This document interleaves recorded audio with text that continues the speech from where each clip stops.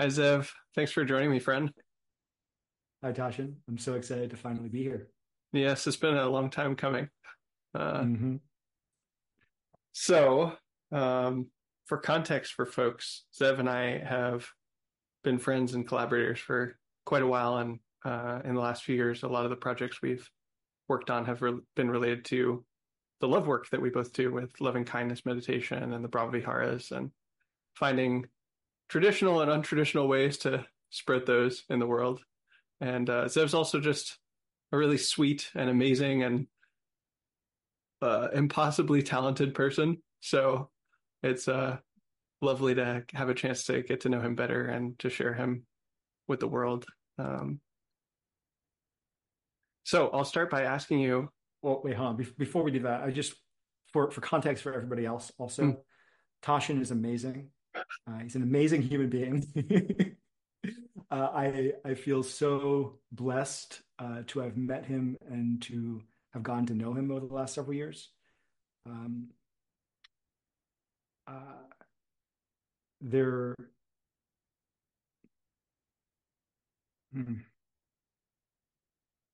I think there was like a there was a point uh, last year, year and a half ago, or something like that, where I really felt felt like our friendship was one of the most important things in my life. As I was just learning so much from being with you and collaborating with you, and um, yeah, it's been uh, incredible to have gotten to know you in a in a deeper way. mm, So I'm really really happy that we're finally able to kind of share share this friendship with the world. mm. That's really sweet, Zev. Thank you. Uh, this is what happens when two love people get together and have a conversation. They just love on each other. Uh, so thank you. You know, I, I think of this as a chance to really see someone and get to know who they are. And I think of it in terms of a metaphor of like painting a picture of someone. Like these days, I'm a visual artist, of course, and I like to draw people, especially the ladies, which we both like the ladies. hmm But um, uh, yeah, it's it's a metaphor of painting a picture of someone and really showing who they are, not just their visual appearance, but who, who, what their soul is and who, who they are and what their qualities are. And a conversation's an excellent medium for that and asking someone questions and getting to know them. So this whole conversation is a space for me to get to know you in a deeper way and really understand you and to share that portrait with the world. And I really like to start with a frame for that portrait, which is someone's life story. Um, not only the facts of what's happened in their life and where they've been, but really giving them space to hear, to frame how they see it, how they understand what's happened to them, how they make sense of it. And anything's a valid answer to that. You can answer this however you like. Some people answer very briefly. Some people answer in a long way. Some people have, give sort of a factual chronological account. You can feel free to tell an epic tale. Uh, however you choose to do it is fair game, and I'd love to hear it. Uh, whatever you'd like to share about your life. Mm. I'm glad I got a little bit of practice uh, recently with North. Mm, Um, we gave these wayfinding mind talks at Boundless Refuge, and it, it's it's a uh, talk about an hour, your life story. So I, I recently had the opportunity to do one of these, so I'm excited about trying again and honing honing it a little bit more. Mm. And I'm sure I'm also going to leave something out. Uh, I, I I know I know this about myself. As soon as I finish telling it, I'll be like, oh, that was there. There was this this thread that was so cool and important, or whatever. Anyway, I'll try to start at the beginning. And uh, again, thanks for allowing me to to be your model. Uh, it's really helpful for me too to look at my life and um, tell the story, connect the dots. So I'll start with where I was born. My parents were Lynn and Robert Benjamin. They uh, they met in high school. They were high school sweethearts in uh, Philadelphia, um, and I grew up in the suburbs of Philadelphia. Their parents, I don't believe, were immigrants, but their parents were. And uh, so I kind of grew up in this context of of um, like getting ahead being very important, kind of rising up through the social and um, economic socioeconomic hierarchy. I grew up Jewish. I would say really more culturally Jewish than uh, very much practicing. We lit Shabbat candles every Friday. We went to the high holidays. Um, my father was always proud to put on a tallis and his fancy kippas. But it wasn't it wasn't like a everyday part of our life. We didn't besides lighting candles and having kind of a Shabbat dinner, we didn't really keep Shabbat. It's one of the um, one of the practices in Judaism. In fact, when I was growing up, I, I went to Hebrew school, but partway through, I uh, decided that I didn't believe in this whole God thing and declared myself atheist. And uh, and from then then on, I was I was culturally Jewish. Anyway, we'll get back to that. Uh, education was really important for um, for my parents, and I guess they kind of passed that on from, to me. I never had chores growing up. Instead, my parents told me that my my job in the household was to study and do my uh, do my homework. I I found that really difficult, though. It was very hard to keep track of everything I needed to do and um, kind of plan my time. I was I was really much more in the moment, and in the moment I would forget about the stuff that was coming up, and I had kind of difficulty chopping up the the work into different chunks. So uh, oftentimes my my days would be coming home from school and then wanting to you know take a break. So then I would I would read or play computer games or go play with a friend or something until late, and then I would start my homework, uh, which meant in school I was um, uh, tremendously underslept, which was not good for not good for actually doing um, well in school. But I, it turns out that I, I did quite well anyway.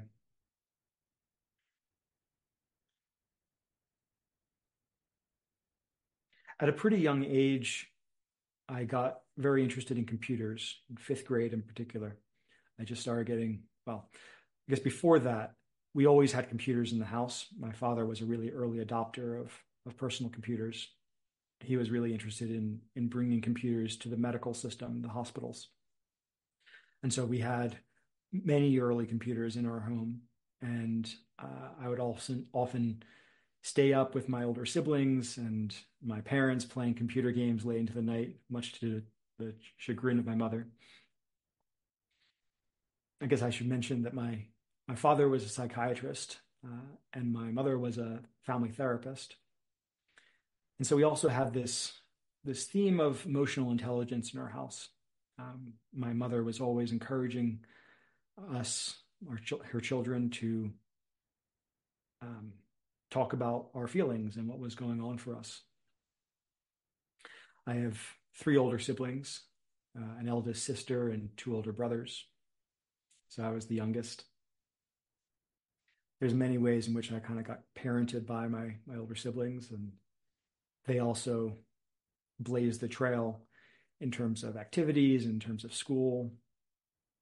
Every time I got to a new grade, there'd be some teacher who knew one of my older siblings, and uh, it um, guess I'm a little bit embarrassed that it, it it was really helpful actually for me. Um, my my older siblings were all very good students, and um, so there was also a lot of expectation on me to be a to be a good student as well. We each had our own activity, our own kind of specialty. I and each of us kind of played around with the activity of the elder ones. So my sister was really into acting, and so we all tried acting. I tried acting. My eldest brother was really into chess, and so my two older my my older brother and I both tried chess. and uh, my uh, the other older brother was into running, and so I tried uh, running for just a brief moment until I decided that was not for that was not for me. um, but my thing was computers. So I, um, as I mentioned, I always liked computer games, and in fifth grade, my parents enlisted the help of a family friend um, who very generously gave his time to teach me how to program. So I started learning how to program in QBasic and then Visual Basic. And then I started going to computer camps in middle school, started uh, carrying around um, the Linux programming Bible, you know, a big old thick book, reading about system calls and network sockets and all that stuff. In eighth grade, we had you know some some reading time, and uh, I was carrying around this reference book um,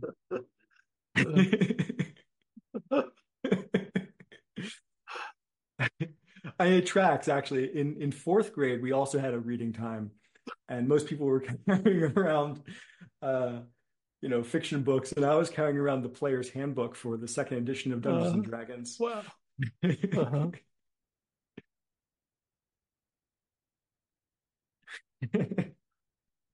So um, I started doing uh, programming, starting really learning how computers worked. I uh, there was science. There was this thing called science fair in our near near where we lived. And there were a couple different ones, and it was pretty generous at the time. You could have a a programming project be your science project, and so I did that for uh, I think almost every year and th- these would be my projects. I would learn how to build a network client, a file transfer program. Then I would learn how to build a Beowulf cluster, which is a clustered Linux system, and probably some other things that I'm forgetting at this moment.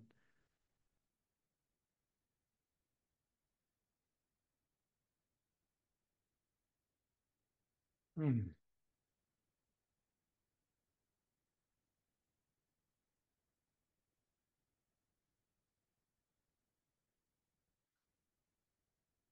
in seventh grade, I seventh or eighth grade, can't remember which. I went to this program called the Center for Talented Youth, which was uh, kind of a summer camp where you go to a college campus and you get to take college-like courses, people uh, taught by professors and uh, people who are in college and the thing about the Center for Talented Youth is that it's a it's an overnight sleep sleepaway camp on a college campus, and the kids kind of get to experiment with what it's like to to live together. This was really formative for me. It was my first time really away from home, first time spending all my time with people my own age, living with them. I had a really hard time growing up in grade school uh, making friends or that's not quite true. I, I, had like this small group of friends, but it was difficult for me to to again organize my time such that I would be with them or be able to to play with them.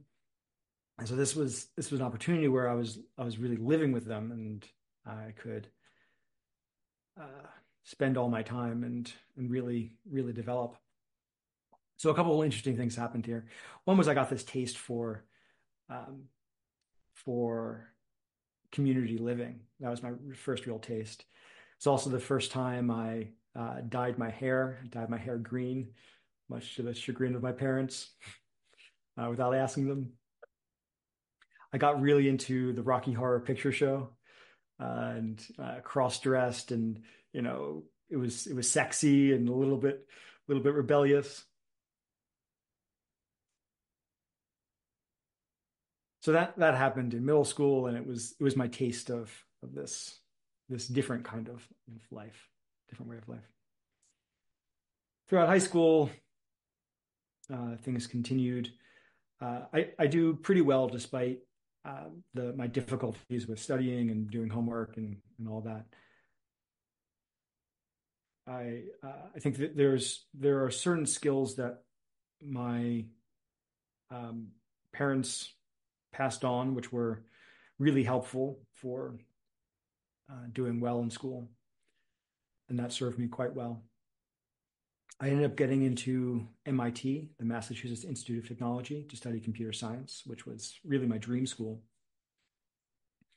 And going there, again, it was the same kind of um, uh, magical wonderland of uh, living with people uh, who felt like they, they got me. The, the thing about CTY is there's this there's this moat.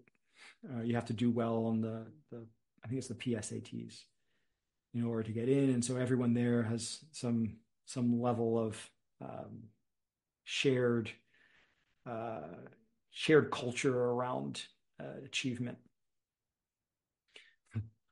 Colloquially, you might say that people there were smart. Um, and MIT was the same way. It just everybody was was was brilliant there. You had really the top people in uh, in every field of of science and math. And that was it was really thrilling because uh, we also all had the same kinds of um, the same kinds of uh, strange social deficiencies, and we're able to to bond over that. Uh, and that that's kind of one of the things that brought us together. Hmm.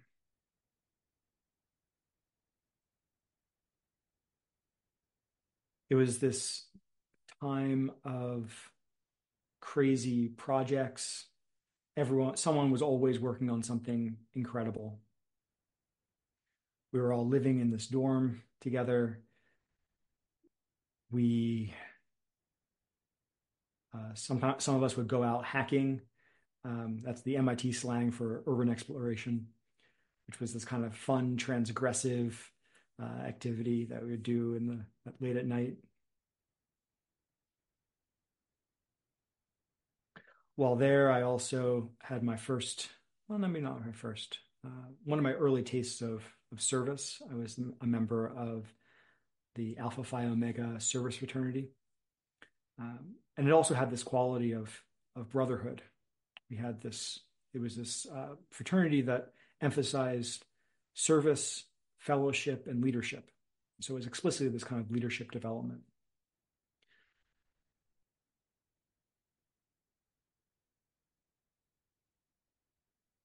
I also lived on this floor that uh, the floor was called Black Hole on a in a dorm called Random Hall, and at the time it was kind of really into again this this like slightly subversive, sexy uh, flavor. We would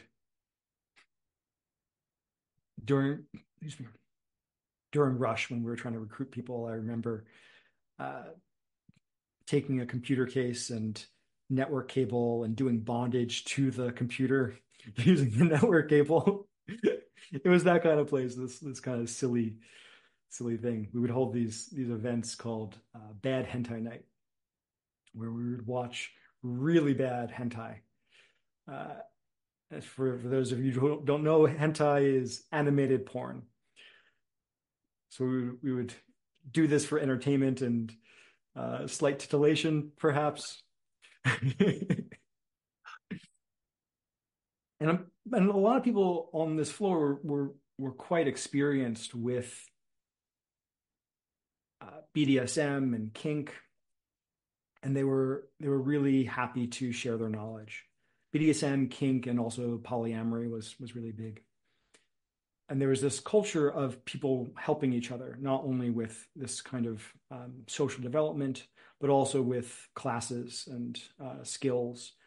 There were always upperclassmen around or people, even alumni, who were happy to help and um, be mentors. So it was this this really supportive environment as well. Mm-hmm.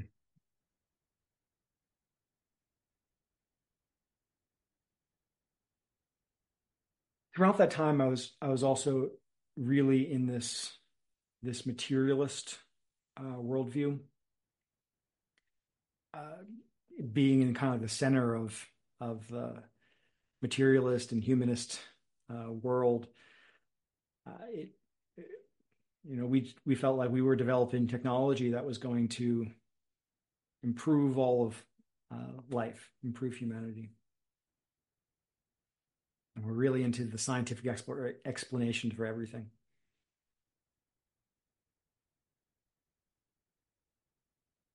At this time, uh, I was also um, I didn't do um, didn't really do any drugs in college. It wasn't wasn't my thing. Uh, maybe at the very end, I started uh, getting interested in wine. For my, I remember for my 21st birthday party, I did an ice cream parlor crawl because I decided that alcohol was alcohol for for those other people who like getting drunk, and that wasn't me. I like I like ice cream. so anyway, I graduate and uh, I was I was doing technology the the whole time, but my my older siblings um, um, encouraged me to try branching out, and in particular that I could probably make a lot of money if I went into finance and used my uh, software engineering skills there. So I decided to give it a try, and I moved to Chicago and work for a company called Citadel, and I'm uh, building high frequency trading engines for them it's actually a rotation program. So I go through different business units. I, I do the high frequency group and the stat arb group and um, can't remember the third group I did. But anyway, uh, it's really interesting in a lot of ways. I'm applying the, those skills, but it's also uh, it's it's really hard on me because whenever I go to a party or you know meet up with friends and I tell them what they're what I do for a living, uh, invariably the first question they ask is something like, "Do you think what you do for a living makes the world a better place?" Uh, and I try to tote the party line of how uh, faster transactions lead to more liquidity, and that helps people. uh, but it always feels like this um, this justification. And um, I also the culture never really jived with me. I I never never really got along uh, super well with most of the people. I didn't like how adversarial it was. Um, you know, competition can breed um, more skill and more uh, you know a better product. But I, I, didn't like having that competition be internal to the company. It felt like the my coworkers were were often i couldn't really talk to my coworkers. And i also felt pretty isolated in chicago didn't help that I was flying to Boston every every other weekend. Um, so eventually I leave that and I, I go and I, I join a startup that my friends have started. And it's I, I find it a lot more fun. Around this time, I start going to festivals and I uh, again get this taste of of this community living being in the woods with your friends and uh, you're you have to like construct your camp which is like your home and you're cooking food for each other and you're going out adventuring together at night and you're supporting each other. And there's just something about that environment that really really calls to me really really uh, just felt so good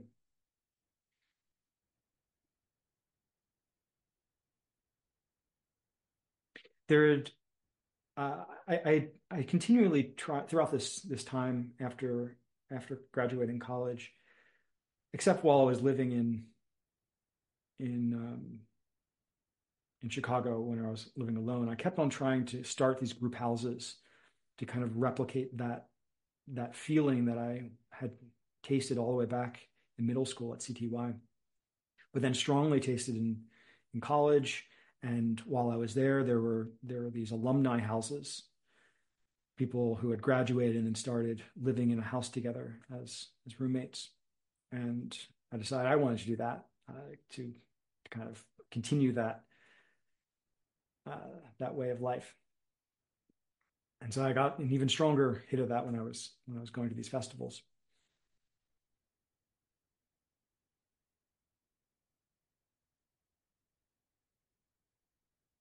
I also got my first taste of psychedelics while I was uh, going to these festivals. And that that really changed the way I, I saw things. As I mentioned, I was never into it in college. Growing up, it was it was really stigmatized in my family.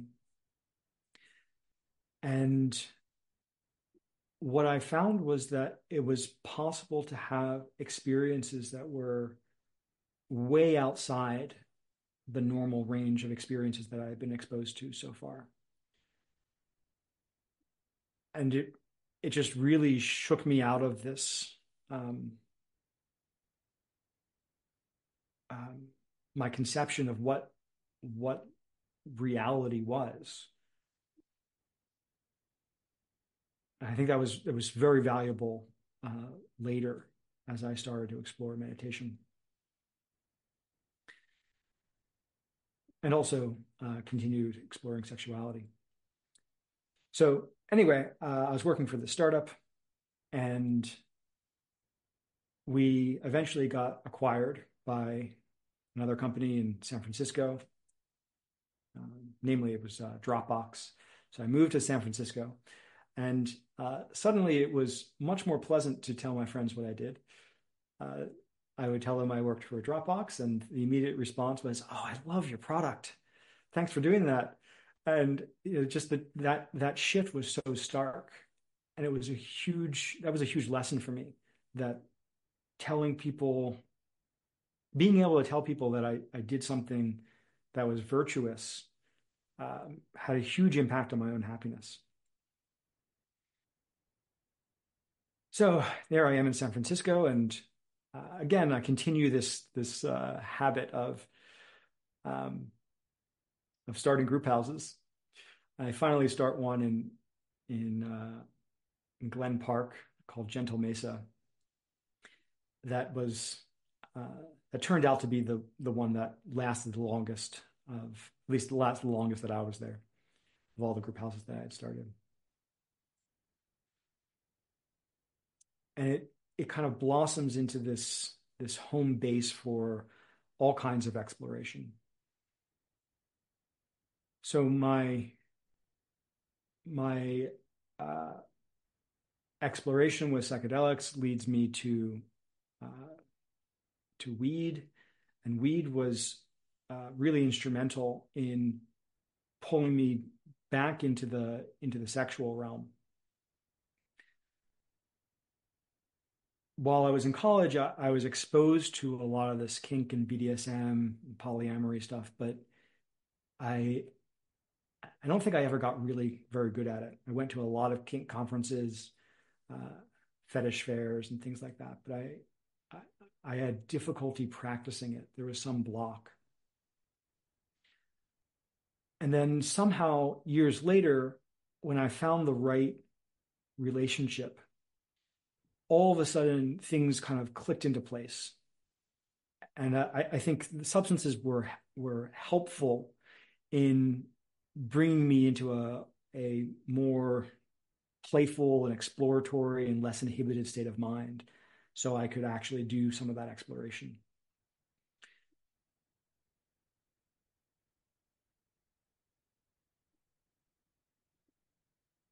I think I want to uh, be careful to mention that while they were really helpful for me at that time, I don't necessarily think that they're necessary. And they actually also can cause uh, a lot of harm. But but for me at that time, it was really valuable to have some exploration with with weed and also alcohol.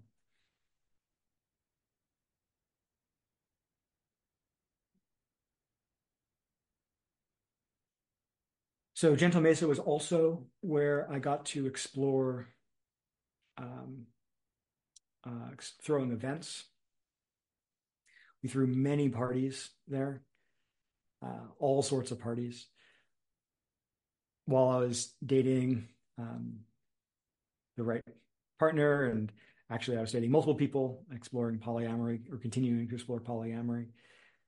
And we started having threesomes, and then foursomes, and then started having orgies, and started having sex parties. Uh, and so we were doing that. Uh, I was also helping guide uh, psychedelic journeys for people.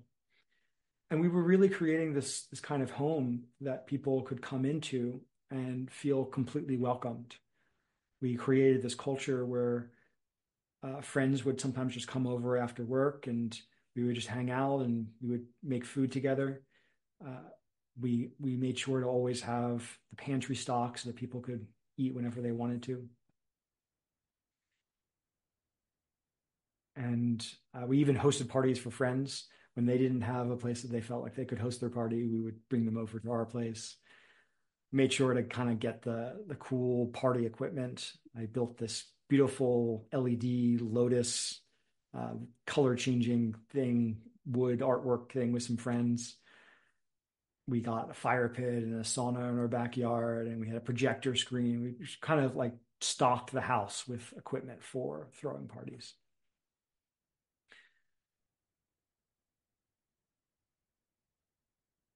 sometime at this during this period, one of my housemates started meditating using the Headspace app and said it was really great. And so I said, all right, I guess I'll give it a try. Uh, and I started doing it in 15 minutes a day. And it seemed pretty good. But um, then one day, one of my housemates went on a meditation retreat and came back and just was raving about it. And I asked him to tell me all about it. And one of the things he said was, "Well, what's what's stopping you from doing that?" And thinking about it, I had quit my job several years prior. I was almost entirely focused on building the community. I realized that almost nothing was stopping me. I, I had a part job time job at another community called South Park Commons, but I could I had the flexibility to tell them that I was going to take some time off. So I decided I would go on a meditation retreat, and um, I looked around at different options. But one of my other housemates had recently gone to the monastic academy in Vermont and had come back and said something like, the community there, there's something different about them. There's something that they are doing that we're not doing at Gentle Mesa. Or like it feels different there somehow, feels better. And this really intrigued me. I, I love coming from this kind of tech background, I love optimization. and so I, I heard this this this uh, claim that they had something that we didn't have um, they were doing something that we weren't doing, and I I decided that I wanted to go check that out. So I went uh, to the mass. It turned out that they were having a two week retreat in like three or four days, uh, and so I called them up and uh, asked them if I could come. And for some reason, for some reason, they say I can come. Um, And so I dive into this two week retreat. Uh, that's actually that's where I met you. Um, you tell me. Uh, oh boy! Oh boy! Oh! Very ominously, uh, something like there may be a moment in the middle of the retreat where you feel like running away. Don't run away. and lo and behold, sometime in the middle of the retreat, I feel like running away. uh, of course, then it got me thinking, well, why did you tell me that I might feel like running away? Very ominous that you would know that. Hmm. Hmm.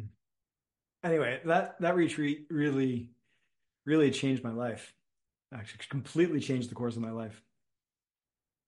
So much, so much came through. I I just had this sense that reality was really not what I thought it was.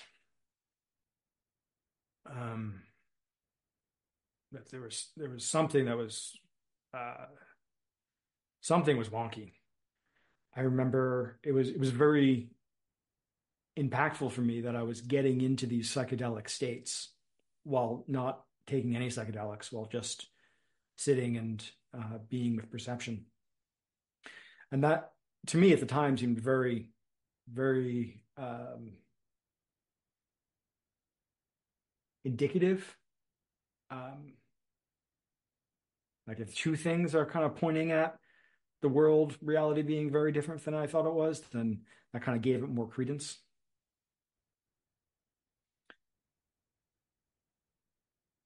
I remember up until this point, I was I was totally, I was an atheist. I was agnostic, agnostic atheist. I was open that you know maybe there's a some God out there or something, but I don't know what even is this God thing anyway. Uh, and all of a sudden, my world is totally rocked. So I decide I, I want to explore more, and I sign up for an apprenticeship with the uh, California branch of the monastic academy called Oak. I do that that that following summer. Again, super impactful. Uh, I learn a ton, and um, uh, something something shifts in me. I come back and I start wanting something slightly different in my in my living environment things had had been going great for a while, and then things started becoming kind of rocky. Uh, some things started going becoming rocky with my primary partner at the time, and it kind of feels like overnight things really unravel. Uh, of course, it, it's really over the course of several months, but it it feels very sudden to me that things uh, fall apart. Fortunately, that gives me the opportunity to um, kind of start fresh. And uh, after going on another long retreat at the monastic academy, I decided to uh, become a full time resident at Oak. Hmm. This is also right when COVID uh, hits, so uh, it was was a good time to to go into that.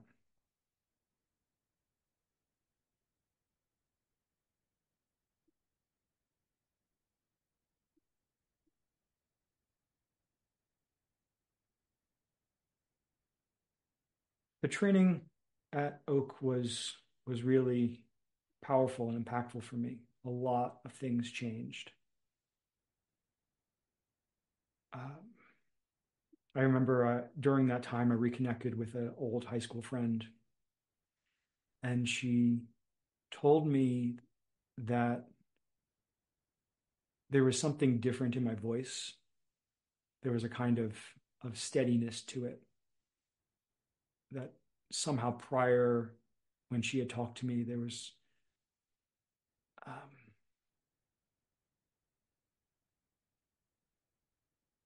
wish I could remember her exact words, but I, my recollection was it was something like growing up there was always this kind of note of complaining in my voice or note of of pushing the world away, of not wanting things to be as they were.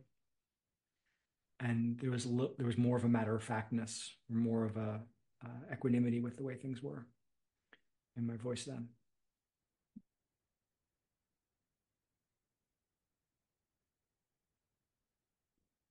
My, I had the the great opportunity, uh, the great privilege to go on a solitary retreat while I was a resident uh, for nine weeks, and that was really transformative for me. So much, so much came through. It really kindled my love of of the natural world. I, I mean, I'd already loved being in the woods from my days in the festivals, so I already kind of had this feeling, but in the way that those were kind of more controlled environments.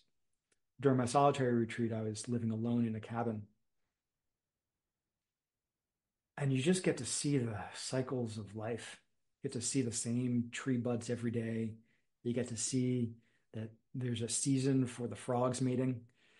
That you know the there's a season for everything. Things things come, and they go, and uh, they change.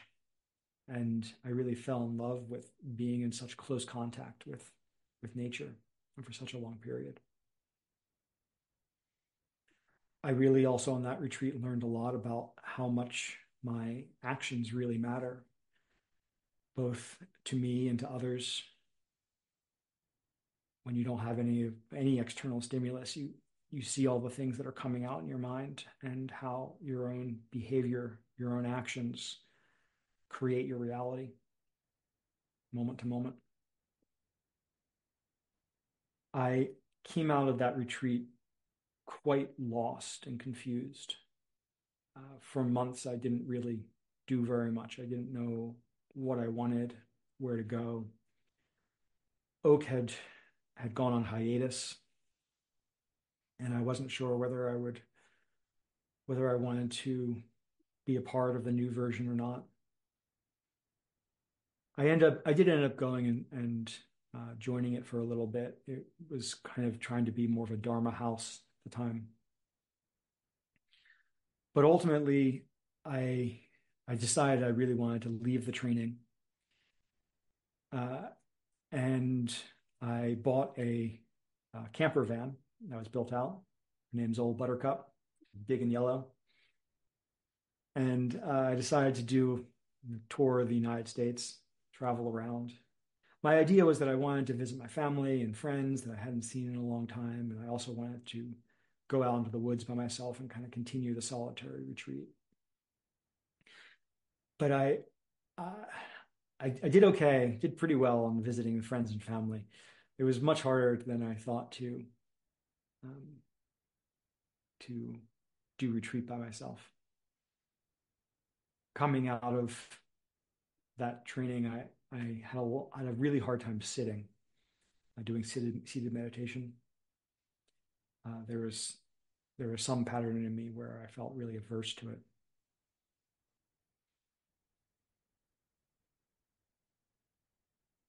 So that started this this long period really of integration of of integrating the the insights from monastic life into um, my everyday life, the, the life that I had before.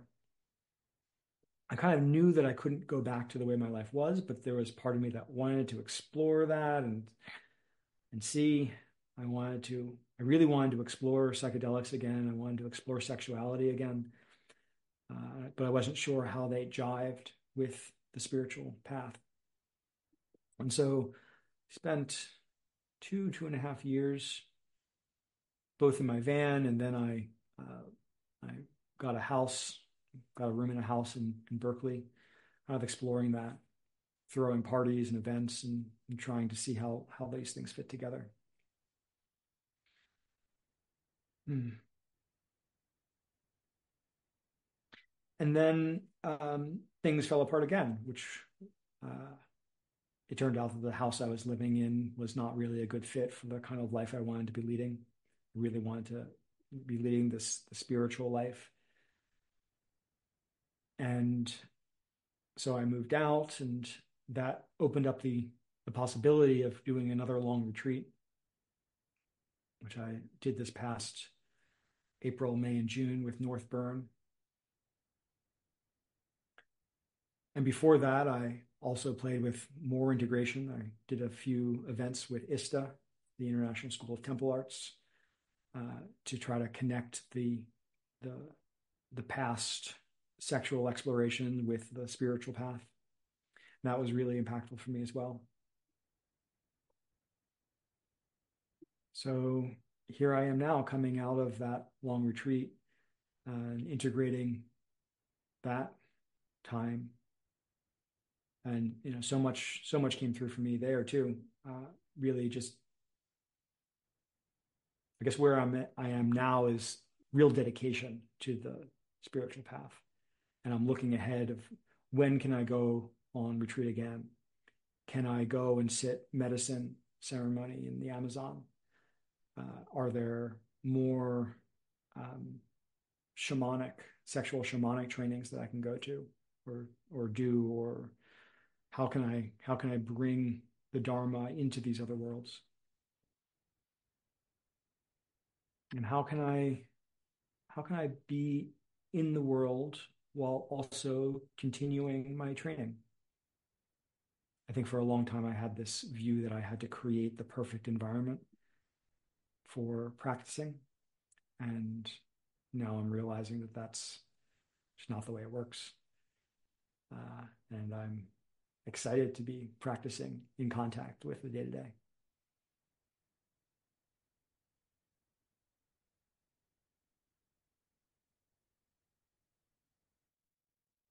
A beautiful, beautiful tale of your life. I really enjoyed listening to that. Thank you for sharing your heart in that way.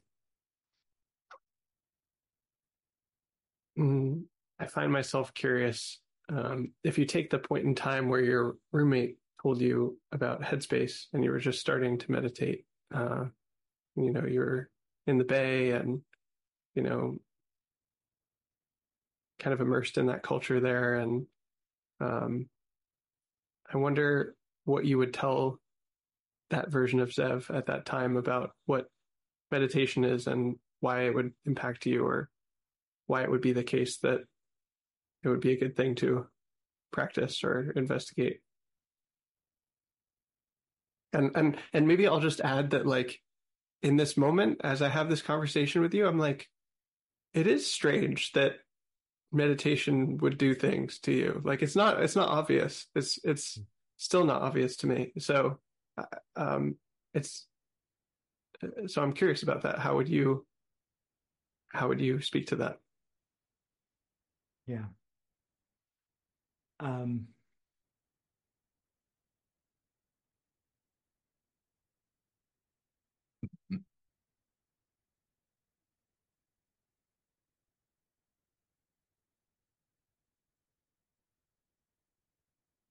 I would tell that version of me that meditation leads to the best thing.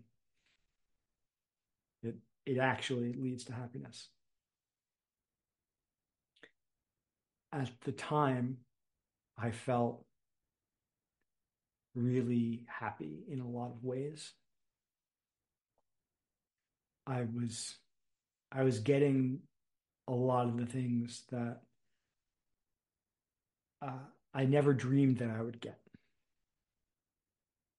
I was having uh, the kind of sex that a high school version of me would have had wet dreams about, right? Like would have never in a, never imagined that I would have that kind of sex.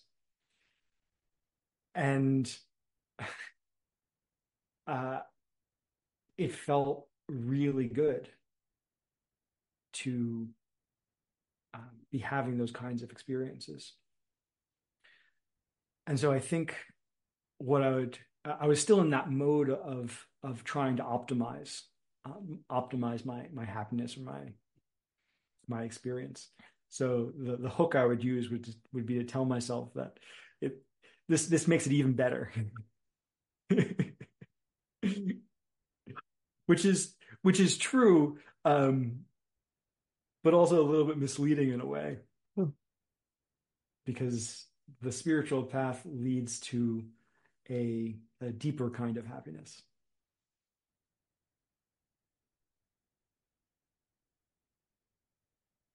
When you were describing your retreats, that first two week retreat, and then your first long retreat, and then this long retreat that you just did, uh, you used this phrase multiple times. A lot came through. A lot came through. What does that mean to you? And mm what did come through if if you sort of zoom out over the years of practice that you've done like what kind of shifts have you seen within yourself through that practice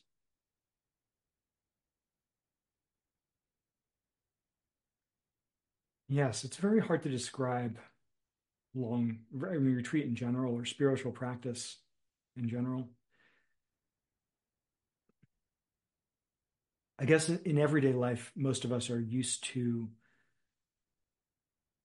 a kind of acquisition, kind of acquiring knowledge or acquiring an experience. You go off and you do a thing and, and you you you get an experience or you you you build a skill or or something like that. And it's not really the same with spiritual practice. There, there are, of course, of course, many skills and you have many experiences, but that's, it's like not what it's about. It's actually about a kind of inner alchemy that occurs. There, there's sometimes insight that that comes through that that occurs that that comes to someone. And sometimes that insight is expressible in words. You're able to explain it to other people. But the words are not the actual insight. The actual insight is something that that you are that you live that it's it's like some some different way of being that you're then expressing in the world so when I say something comes through, I, I mean it's like uh, this new way of being is coming forth from my body and mind.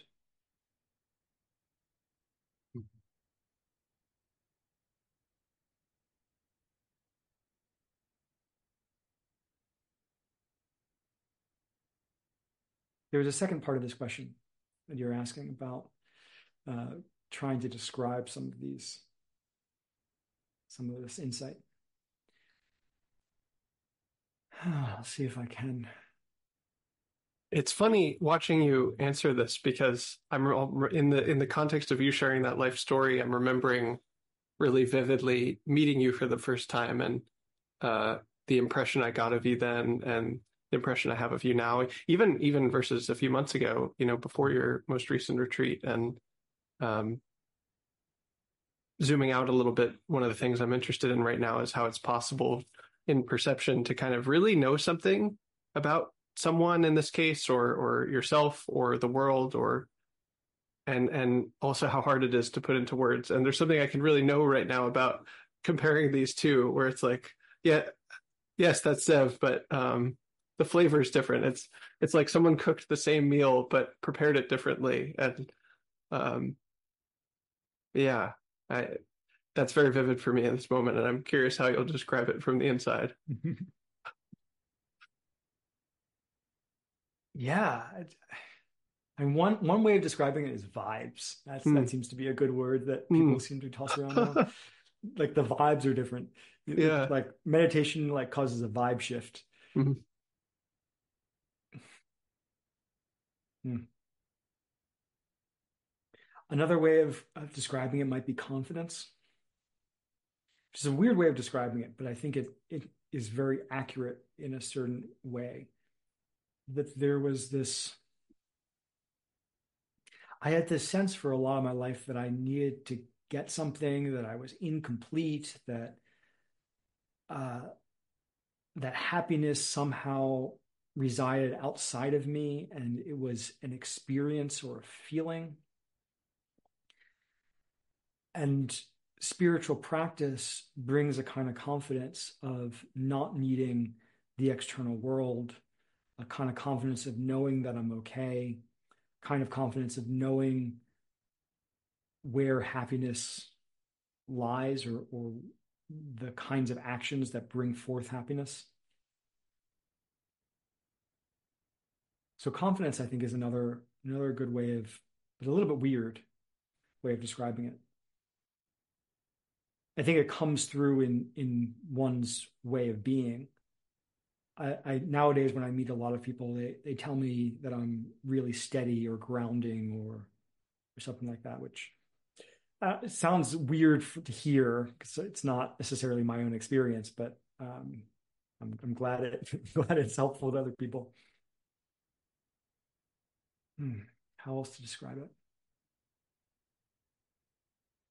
It's kind of knowing.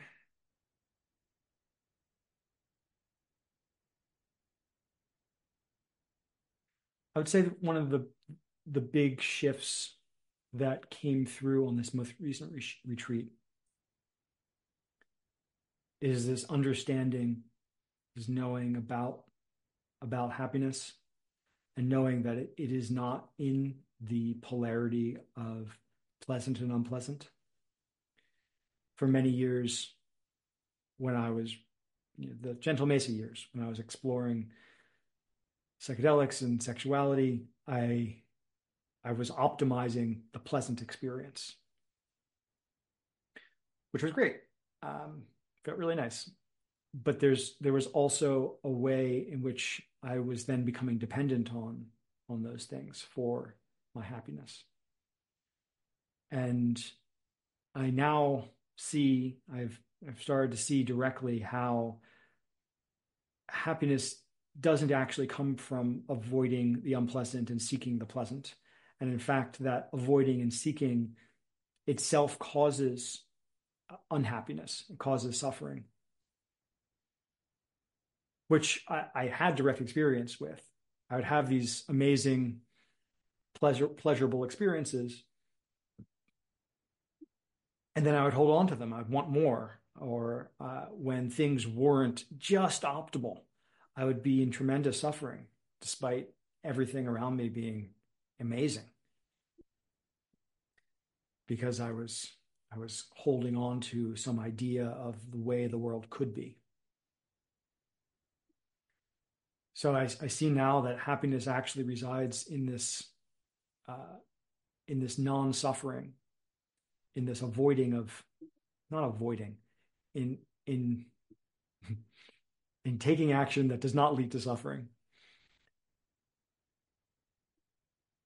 And it's independent of conditions. You can actually be in a very unpleasant situation.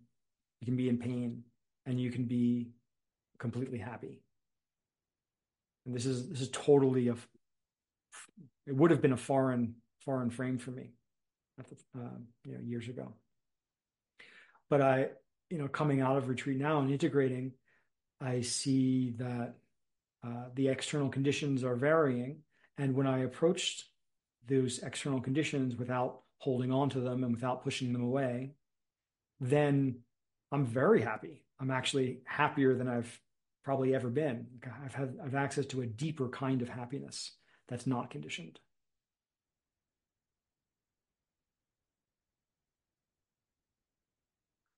So so in that way, this these talking about things that come through, it's this kind of it can be this kind of knowing.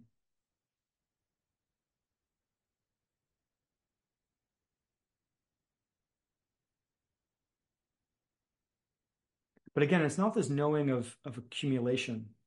It's not this knowing of of personality. Because if I if I try to look for where that is in my experience, where does that that knowing reside? Like I don't know. Hmm.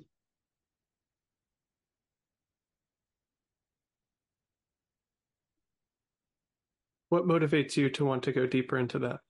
Talked at the end about uh, wanting to continue your training and learn more of these practices. What's motivating you at this time?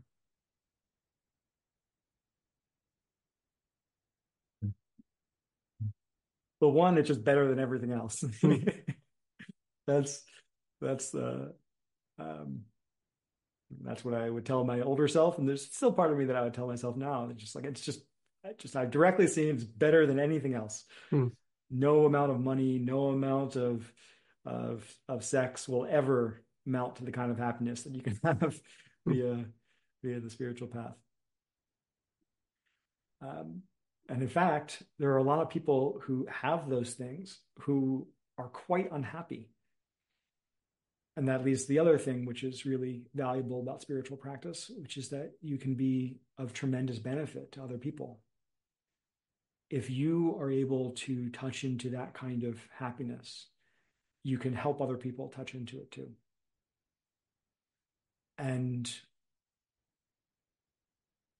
that means you can help a lot of people and you can help a lot of people take ethical action that will be of benefit to to many other people, many other beings, the plants and the animals, the planet.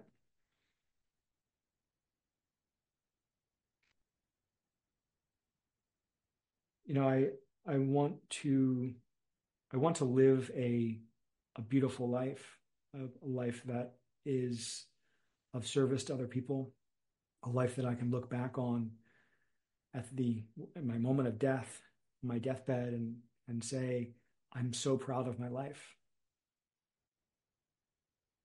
And as far as I can tell, the way to do that is to continue spiritual practice, because that's how I can really be proud. The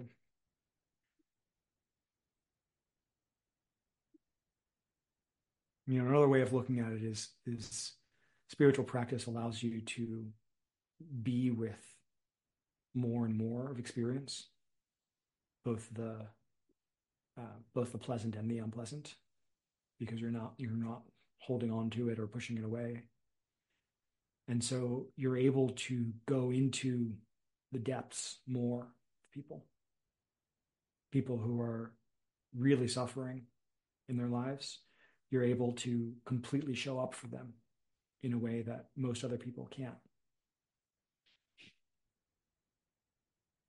When you really do this inner work and you face all your demons.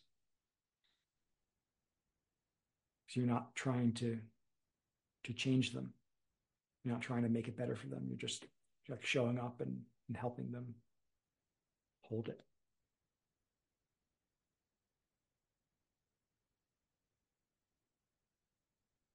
I just want to I just want to amend what I said. Hmm. It, also it feels amazing. If it's so much fun. Hmm. Hmm. You like you feel like a superhero or like a you know a high level fantasy hero or something. when you can like go in there and someone is is facing something super challenging and you and you can like be there with them uh it's it is thrilling. It's, it can be scary, but it's also really thrilling and and tremendously fun mm. to, to, be a benefit to people. It sounds weird. Hmm. What is your experience of the heart-based practices that we've both cultivated been? What's that been like for you? Mm. Mm.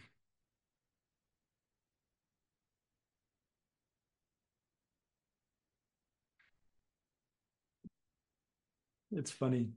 I actually don't think I'm very good at them. uh, I I kind of like to sprinkle them in with my other practices, but I I think like a lot of my other spiritual practice, my it's it's pretty messy for me. Some people have you know very clear uh, following the breath practice, and that's what they do, and they they're do it really well and I get into jhana with high concentration. That's not me. Um, some people um, do metta practice and like they're really with their visualization or their metta phrases or whatever. And, you know, that's also not really me. Um, I do that occasionally. Occasionally, um, I I really stick with with metta um, or especially self metta, directing metta to myself gratitude for me is really important. It it really opens me up. And um, I also I really enjoy caring for other people, like expressing my care in the world. But it's it's I think maybe harder for me to do that in in the meditation. It's easier for me to do that in a direct expression of being with someone else or uh, expressing my gratitude or or telling someone how how worthy they are or how much I believe in them or directly helping someone with whatever it is they need those those are more accessible and actually more impactful for me hmm. but when i when i do do metta practice or heart-based practices. Um, I think they are they are also helpful for building the skill and kind of getting resetting my mind state. If I'm in a, a mind state that doesn't have a lot of the loving quality to it, I will turn to love-based practices to infuse more of my experience with that. And then I I often use that towards my myself, towards my um, my inner parts, to use the IFS language. I think oftentimes my my loving kindness practice is more about loving my experience, loving my uh, emotions that are coming up for me, and and being with them.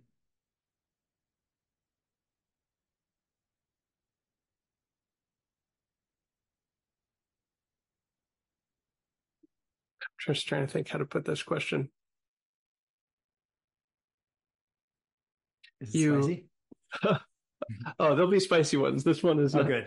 it's just hard to put into words at this moment for some reason. But um, you, I liked your description of oh, you know, some people have their breath practice and some people have their metta practice, and and I just that left me curious. How would you describe your own practice? What is the practice that is proper to Zev at this time? Hmm. That's that's a really good point. The the last thing you said at this time, mm-hmm. the there's so many uh, practices that have been valuable for me at particular points in time. Like I mentioned earlier, really early in my exploration of, of sexuality and psychedelics, weed was really impactful for me. It was really important, important part of my practice. And in recent times, it's uh, I found it unhelpful that it creates a kind of clinging in my in my experience that um, I, I, don't want to be cultivating. So, um, and that's true of, of, spiritual practices as well. Uh, really early, I think I had some of these. Uh, I was doing a lot of noting practice, and, and it was leading to a lot of concentration, and that was really valuable for me at the time. And then, I, I think I, I picked up this this um, belief, I suppose, that there was a right way to practice and that I wasn't practicing correctly. Uh, and that led to a lot of internal violence. And that internal violence, I think, caused that difficulty sitting that I mentioned earlier.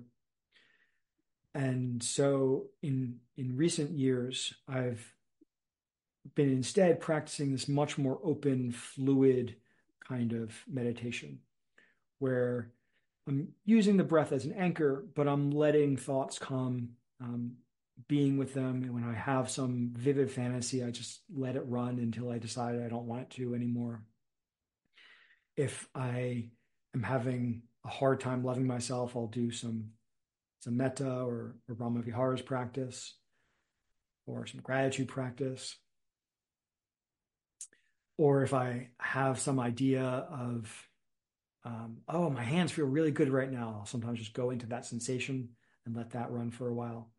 And so it's this really this open, fluid, dynamic, let it go, let it be what it is. And and the important thing is really just to keep on going and keep on practicing. And and not and in particular also not buy into any of the thoughts that are coming and going. Being in the present moment um, bring my attention to the here and now. If I see the if I see thoughts coming, seeing them as happening now.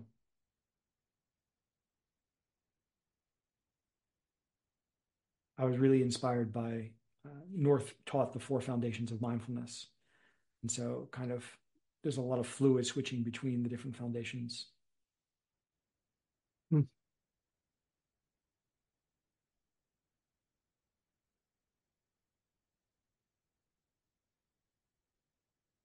Curious to ask, like having told your life story just now, how you would characterize some of the themes that you noticed, or from another perspective, what the questions are that are motivating your life so far. What are the what have you noticed from having shared all that?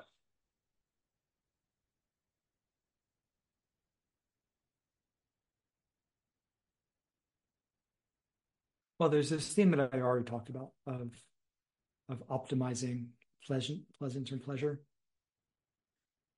That seems to have have has found a um, has found an answer, at least the beginning of an answer, which really goes back to the, a question for from my from when I was very young. Sometime in grade school, I, I really remember just having the intention of being happy. That was my life goal. I wanted to be happy. And so one lens through which to view my life is this seeking of happiness and question questioning what is happiness? Where do I find happiness? And all these things that I tried, uh, academic achievement, uh, pleasing my parents, I'm pretty sure it's doing high frequency trading and creating exactly. infrastructure for that in Chicago. I think you took some wrong steps there, actually. Sorry, you should go back to Chicago, man.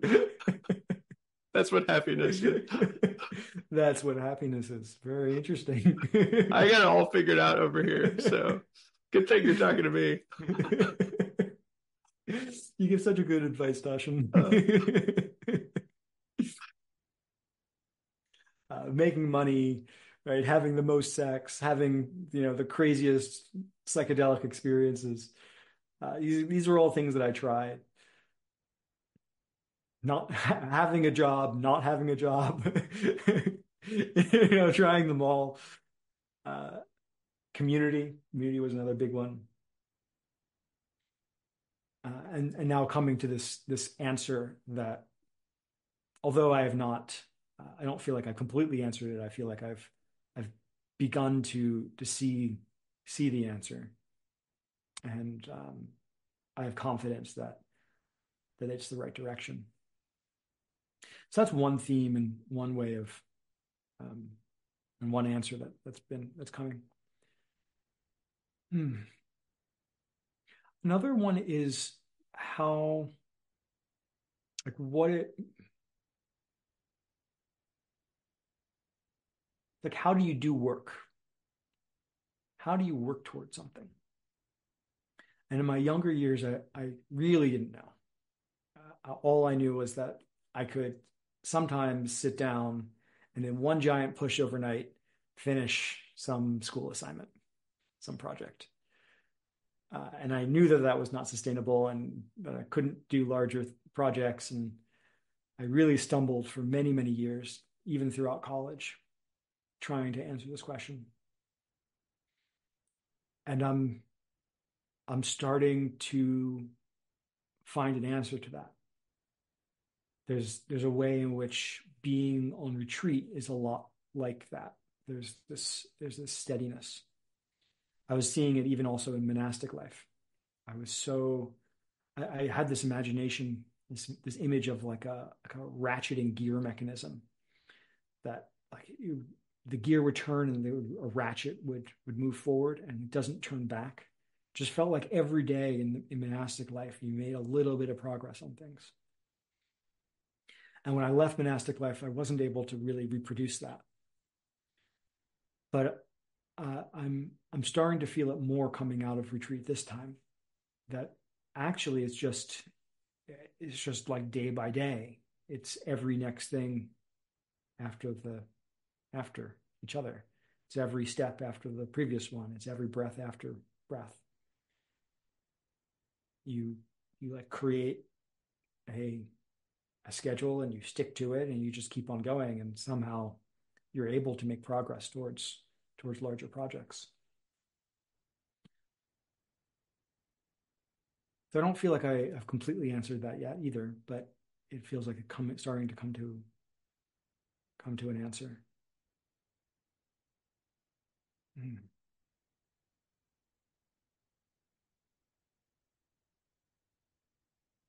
Another question is how do you use these ecstatic tools? The tools of, of sexuality, the tools of, of uh, psychedelics or medicines. How do you use them for living a good life? And I think there's also a opposite end to that, so there's there's like the heights, the ecstatic heights, but there's also uh, the ecstatic depths. and I've, um, I suppose in my life, I, I have not experienced as much of that as, as many other people. Of course, you kind of become used to whatever level, you kind of level set somewhere. And so some things feel really impactful, even if in the grand scheme of things are not, are not that uh, bad compared to other people, the suffering other people experience. But how do you how do you use these things uh, to walk to walk the spiritual path?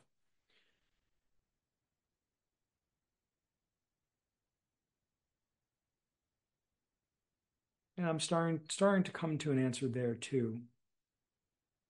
Um, although it's even perhaps even less formed.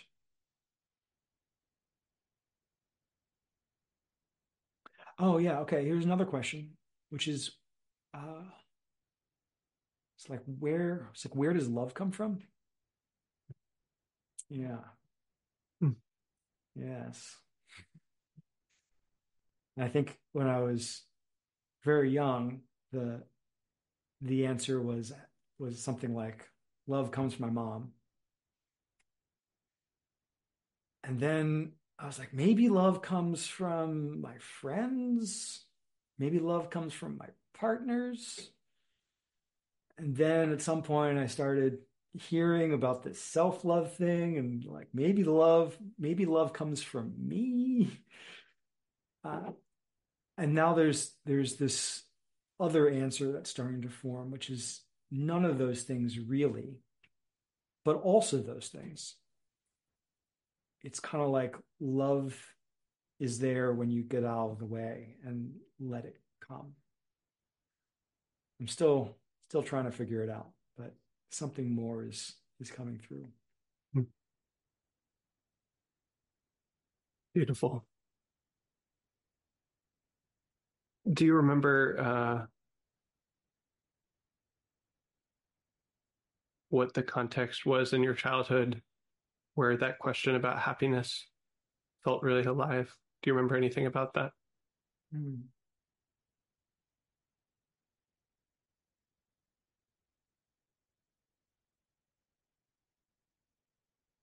I don't really remember the context. Mm-hmm. I remember the suffering that only I think got worse as time went on. When I was sitting alone. I'd come home from school, for example, and I would uh, not be doing my homework. I would be reading a book or playing a computer game. My, my parents worked in the evenings, so they would they'd be off working, and it would just be me, and I would be distracting myself from uh, from doing my homework by doing these other things, getting super engrossed. And occasionally, I think I would pop out and feel really bad about myself for not doing my homework and uh, respond to that by just getting more engrossed. Or if my parents happened to be popping in because they, they worked in a home office, they would sometimes come out for a few minutes between clients. And I would quickly pretend to be doing my homework again, uh, which I got unfortunately good at. Um, um, yeah, I just something in me knew that it wasn't right. Something wasn't right. I shouldn't be pretending to do my homework. and I shouldn't be distracting myself from doing homework. I wasn't with people and I wasn't doing the thing that I knew I should be doing. So, so yeah, I don't remember exactly when that intention came, but it was in this context of of knowing that something wasn't right with the way I was living. Hmm.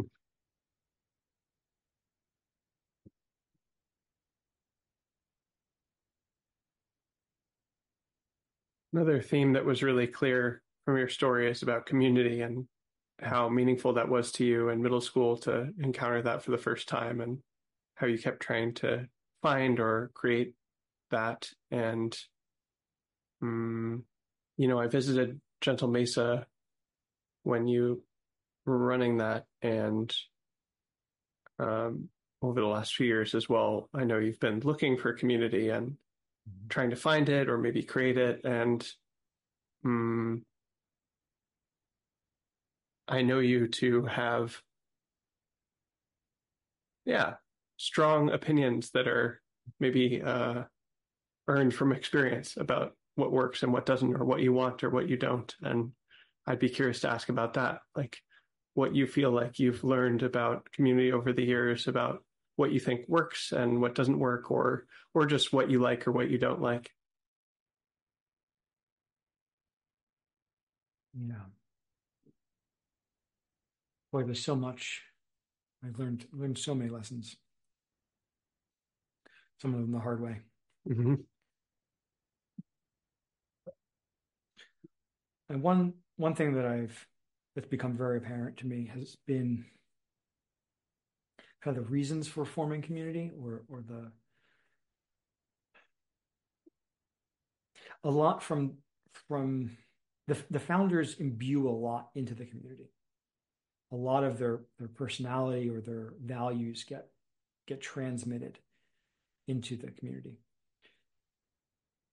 So me. I think it's well. I, um, will say this with a caveat. It's the same caveat that we gave before, which is that different things are beneficial at different times. So when I first started creating community, I went into this with this seeking energy of wanting to be loved by my housemates, wanting wanting that. And that that was good from for where I was at at the time, but it also created uh, a a culture that was ultimately unsustainable because it had that kind of seeking energy into in it when I was at Oak and Maple, I, I phrased it as there instead of wanting love, there was this practicing love that was going on. And that was much better. It was that we were all uh, practicing loving each other. We were all giving as opposed to seeking. So I think you have to be really careful about the energy that you're bringing when you're when you're creating community. Um, but again, it was very valu- really valuable for me to go into go into it originally seeking love because that that brought me to where I am now, allowed me to learn that lesson. So I think now it's very important for me to be in a community that one is is practicing love together is practicing a kind of uh, relinquishment, not not a self-sacrificing kind of relinquishment, not a um, giving up everything in favor of someone else, but rather a kind of um, well, I guess I've also learned that that love comes from uh, an, a, a self abundance, Right? You really have to be abundant within yourself before you can be abundant with others. And so it's it's about being generous with what you have without being overly generous. I think there is such a thing as being overly generous, giving away what you don't have or what you can't afford to give away. But if you're giving away everything that you can give away, then you're going to get, you're going to receive um, huge bounty. So I think that's one of the things that I mean when I say practicing love together. Another important thing is having is aiming at something bigger than than oneself or bigger than any any of the members any of the individuals. When you when you're aiming at something bigger whether it's the spiritual journey the path uh, service in the world, whatever you want to call it, you it, it like it resolves the conflicts. It makes it easy. because there's there's something bigger than any one person's ego that you can you can turn to and say, well, that's the most important thing. It's not not anyone any individual's um, preferences or feelings, and you can and you can see everything as an opportunity to grow. I think that's another um, another very important aspect. Seeing everything as an opportunity for growth, to become anti-fragile, to become stronger, to become more uh, intimate with each other. To see any kind of conflict that arises as a way that we can love each other and become intimate with our um, our shadows or whatever it is that's happening intimate with our own minds. Mm. And then I think there's something important about having some sort of of moat. I, I I actually don't think it's good to have something be completely open or completely diverse. You know, diversity of opinions important, but also, I think for small groups, especially, it's valuable to have things in common, things that everybody shares. So I think it's important to really choose the people very carefully. Make sure that they're going to be able to, to work together. They're going to be able to become a, a strong team together.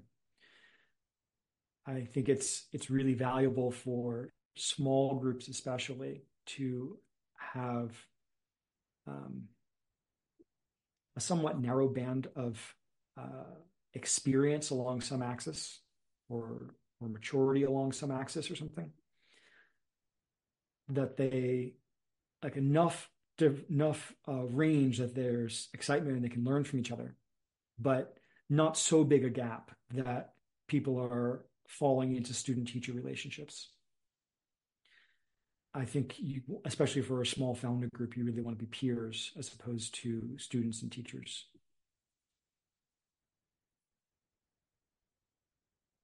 Unless you want to have a, a teacher in the community, which, uh, you know, that might be good, but it does create a different kind of dynamic.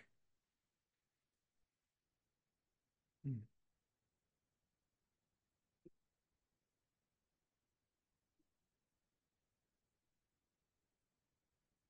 What have you learned about looking for people and seeing, feeling if they're a good fit for community you're trying to create?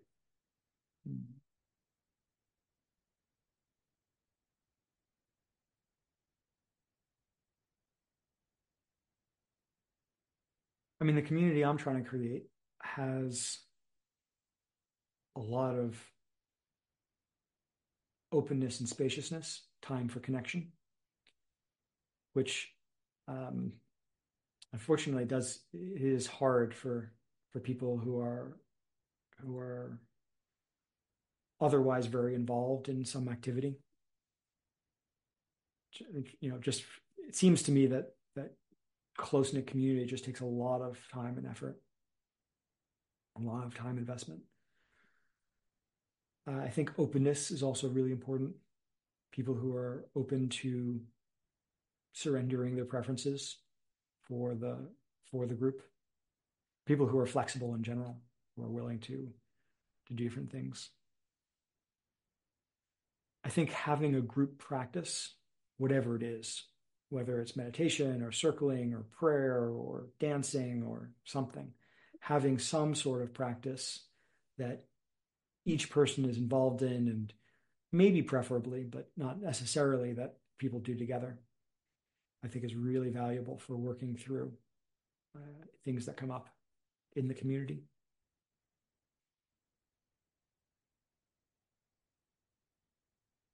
It's really helpful if people have complementary skills, if they're interested in the same kind of thing. It's it's a little bit tougher if each person has their their own hobby, uh, because you know then every day of the week someone's going to be out doing some some different thing uh, and if they're not shared and overlapping, it, it um, that tends to, to scatter the group rather than bring it together. Hmm. I think people who are willing to go through things. Uh, it can be some sort of project together. I personally like to throw events. Um, psychedelic journeys can be really powerful for bringing a group together as well. You know, it's it's something that you can go through together, but also um, uh, there's often hardship that comes up, something difficult to difficult to work through. Hmm. Hmm. Yeah, and again, I, I personally look for a certain kind of um, certain kind of maturity, certain kind of pureness. You know, someone who I admire, I, I really look up to in some way. Um, and it's great if they look up to me as well. If if we are, you know, looking up to each other, and admiring each other in different ways, or even the same way, in the same set of skills, it brings a kind of humility as well.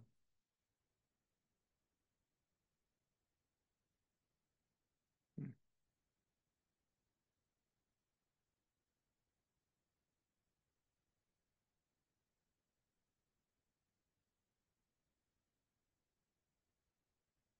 Yeah, it helps if they share values as well.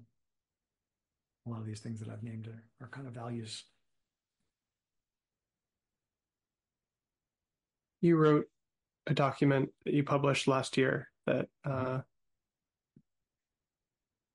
describes as sort of a manifesto. It's like a narrative manifesto of what you're what you were hoping to create through community. And um, yeah, this is sort of a two part question, but mm-hmm how would you characterize that? Uh, what it is that you're looking for, and how has that shifted, if at all, over the last, you know, nine months or so, yeah. year, I guess. Yeah. Yeah. I guess first the how I describe it. Um, I think there are different parts. One is a kind of of wholeness of being of having a, a whole life, a life that includes the personal and the transpersonal and uh, interaction with others, social aspects, the um, food, even. Right? A lot of people actually are not in contact with their food food is an afterthought, something they just have to do to maintain their body. But I think it's it's quite valuable to be in contact with with food, for example.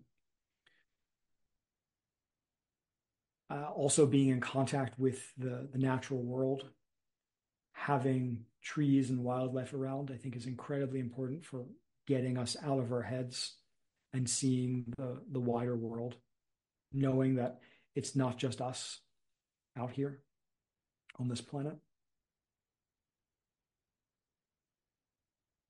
A, a wholeness that includes different kinds of intimacy, that includes uh, movement and includes um, uh, stillness, that includes uh, the ecstatic of, of sexuality or psychedelics and medicines, but also includes um, uh, silence. So this this sense of wholeness of of all things in their in their time, their cycles. This also includes uh, birth and death, um, having having older people there to guide us, elders, and having children around who are just learning, just coming into the world, being able to to learn and to teach are very important. I think, for living a whole life. Yeah, so there's so there's uh, wholeness and cycles, and then there's a kind of intimacy, a togetherness, of being with others through uh, through thick and thin, through meals, through activities, a, a regularness to the contact,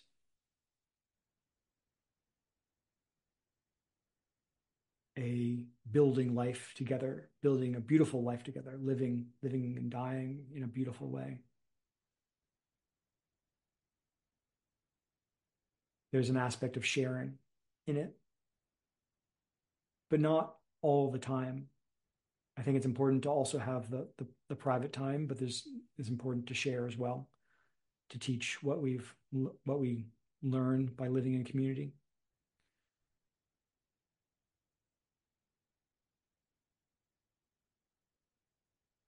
Hmm. What other parts are there?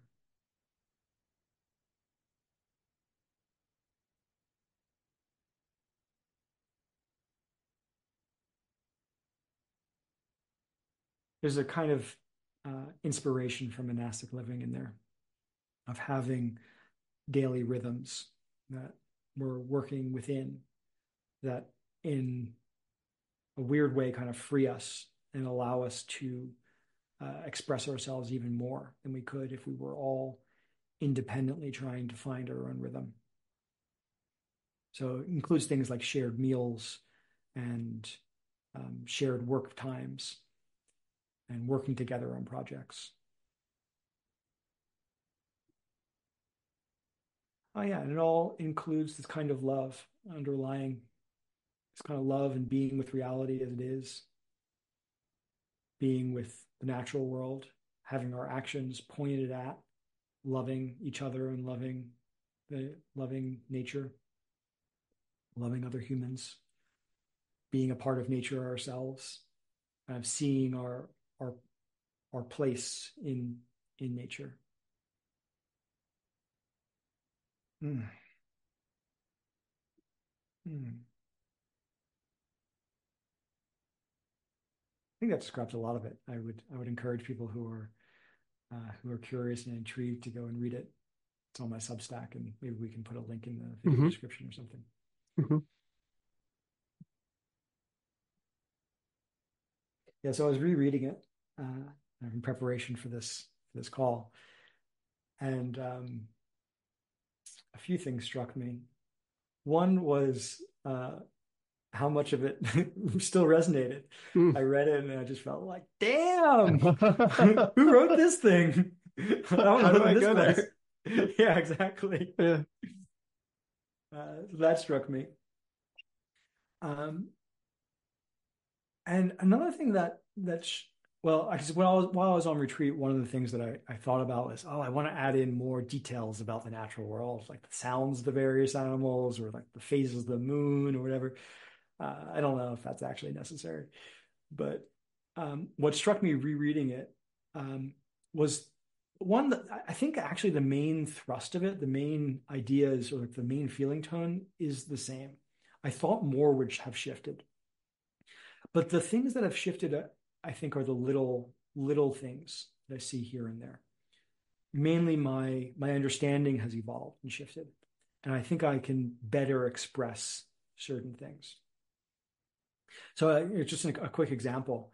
Um, I, I, I described the, the process of waking up and how it's uh, in this in this future world. It's so wonderful. I love it so much, um, which is in contrast to my uh, to growing up, where I often had a lot of difficulty waking up.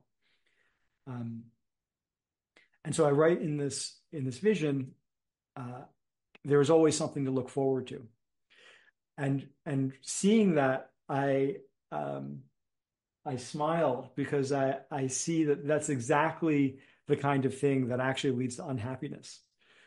Uh, that it's not um, looking forward to something; it's being exactly present and grateful for what is here and now that leads to that kind of happiness, the kind of happiness that I was seeking. And it's not looking forward to some future time when I'll be happy. it's it's bringing forth the happiness in the here and now. So it's those little kinds of things that I that I saw that I would want to change. And I guess also um, uh, the the spoiler alert: the the vision has a sex scene. Um, uh, I think the the explanation of that can be could be improved. When I, while I was writing it, I was still feeling a little bit embarrassed about about writing it. Like, am I really going to put this out in the world? Am I really going to write about having sex to to all the people who might want to live with me. Um, but I, I, feel more comfortable about it now, and, and, I feel like I can speak to the value of it uh, more clearly than I could at the time when I originally wrote it. Hmm. Yeah, so I guess in summary, the I, I think it's still really good uh, in terms of expressing what I what my heart longs for, the way I would like to practice. Um, but there are these just few details that I think I can I can express better now. I can um, that more clearly point to the truth.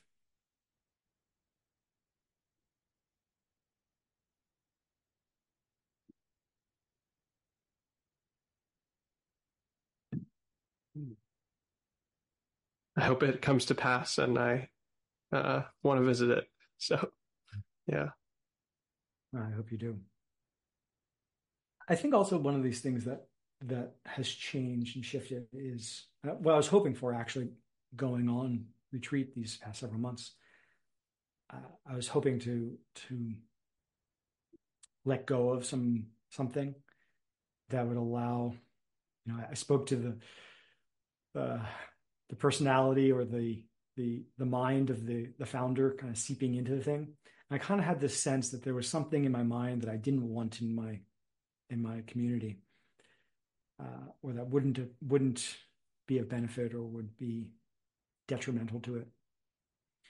And I think there there was there was some letting go that happened. Uh, and one of the things that I that I see, that I, I mentioned this earlier, that uh, I used to kind of have this sense that I, I needed to have this community already in order to do the practice. That the, the community was the thing that would that would let me really dive into the spiritual path. And as I'm seeing it now, that's that's not true. I can practice right now. I don't need to wait. And so while I'm still aiming at this at this thing, I also I don't feel nearly as much in a rush as I did, or I didn't I don't feel as um, I don't feel like I'm clinging to it as much. Like I don't need need I don't need it to happen right now, or I'm going to run out of time. I still might run out of time. That's fine. It doesn't mean I can't practice right now. Mm.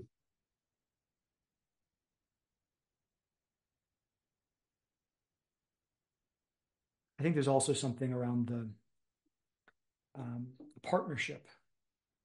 Uh, I kind of knew that there was something I was clinging to. Uh, I'm not sure whether it really comes through in the vision, but really seeing the the romantic partnership as as more uh, partnered, something that we're going to build somehow together. Which didn't come through in the vision, and I think I would change now somehow showing the the co-leadership that that happens in partnership.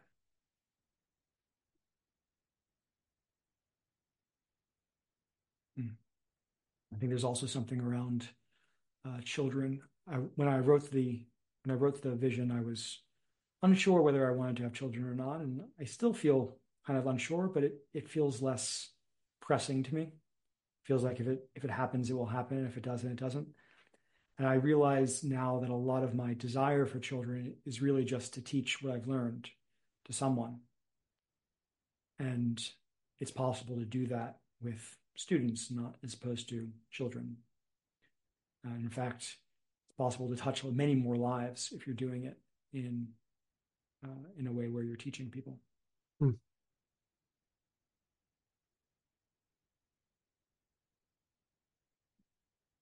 What is it that you've learned over the years about hosting a good party? Mm, hosting a good party. Uh, well, it starts with a good purpose. Um, I really enjoyed. Uh, you recommended Priya Parker's The Art of Gathering to me. By way of Mary. Bit, I'm sorry. By way of Mary, who's a huge ah, Priya wonderful. Parker fan. Yeah. Yes. Uh, I was maybe a little bit reluctant to read it at first, but I, because I felt like, oh, I know how to run a good party. But she just expresses things so well. And um, there were many little tidbits in that book that that crystallized it for me. So yeah, Priya Parker says, and I, I wholeheartedly agree, starting with a very clear purpose is super valuable because it, it it clarifies what do you need to do to prepare for the party? What uh, what kind of decorations do you do? Who do you invite? What are the activities? It all stems from the purpose of the party. So having so having a clear purpose is is really important in the first step uh, and the next having the right people be there if you're um, if you're having a sex party and you invite people who don't want to have sex, you might not have a very alive sex party. Um, and similarly, in other in other domains, you want to have the, the people for whom uh, you know this is an exciting event. They're really they're really drawn to it, hmm. and who I mean, I think oftentimes what a party is uh, good for, or, or, like what it, what makes it um, feel relaxing for the participants, is the sense of abundance. We have time, we have food, we have materials, we you know, whatever it is. Uh, there's abundance. It's a, it's a festival. It's like like the harvest festival, something like that. Um, so, so yeah, making sure that uh, that's abundant. It's covering covering the bases. I always, I always have the policy of of making sure that someone could eat a meal at my party, that there was enough food that that if they if they had forgotten to eat beforehand, that they could show up and they could eat a meal. Hmm. This was uh, because I would often go to a party and then forget to eat beforehand and be kind of, you know, discombobulated or like trying to scrounge for food. And if I was trying to make a meal out of potato chips, it, it often wasn't the best. uh, let's see what else. I think those are the those are some of the essentials. And then when I throw an event, I really like to like dazzle or awe my participants. I want them to be stepping into another world, a world where they can totally forget the mundane, their ordinary life, and be in this. Like I kind of want the party itself to be an altered state where anything is possible, that they're going on an adventure where um, they can uh, it sounds maybe a little bit funny, but I, I, want I want my participants in my parties to just want to stay and stay and stay. Like I want them to be um, kind of like falling asleep at the end, like, oh, man, I don't want to leave. um, that's how I, I t- can tell that it's been a good party is when people are staying well past the end of the official end time because they just want to keep on going they feel so nourished by by this event um, that the the outside world feels like scarce by comparison.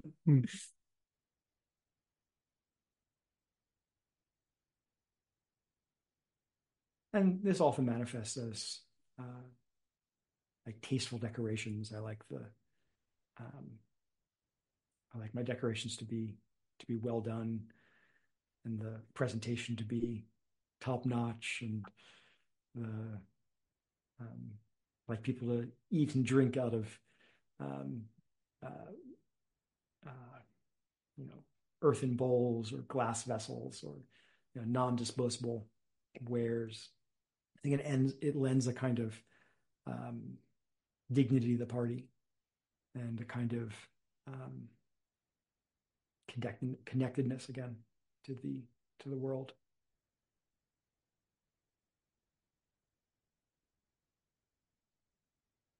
What makes a good sex party in your uh, mind? What when you're planning a sex party in particular? What goes into that? Hmm. Yeah, actually, and and this goes back to the to a regular party too. The most Mhm. important thing uh, for a sex party in particular, but also for a regular party, is is creating a good container, a container that can really hold people. It's much more important at a sex party, but it's it's very important at a at a regular party too.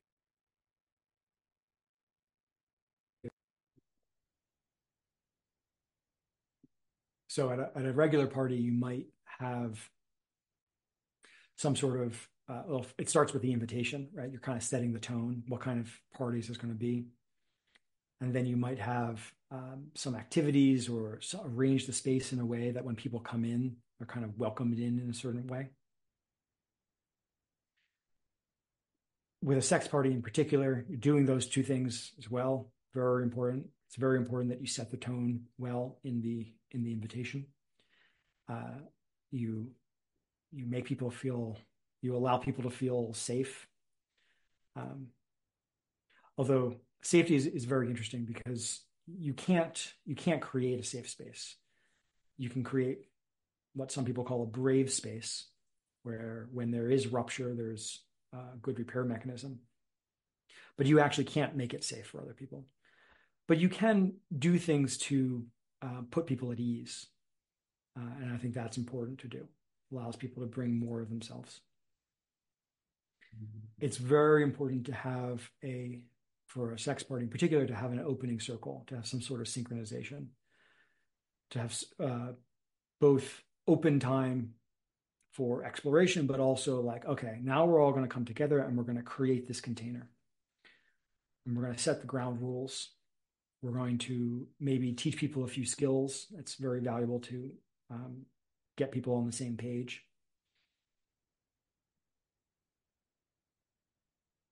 Having a consent model can be very valuable. Um, a lot of people will say it's mandatory, but and for me, it depends on, on the experience level of the people and, and also the culture. There are some cultures that really value explicit verbal consent, and there are other cultures that really value um, uh, intuition and uh, attunement. And it's it's kind of weird if people don't know which one to use. And so I think the the valuable thing is just kind of getting people on the same page of like this is how we're going to be navigating this together.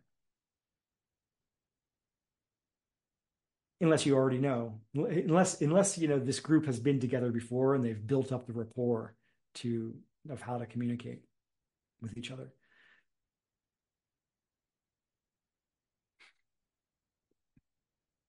Some people might get angry at me for that. Um,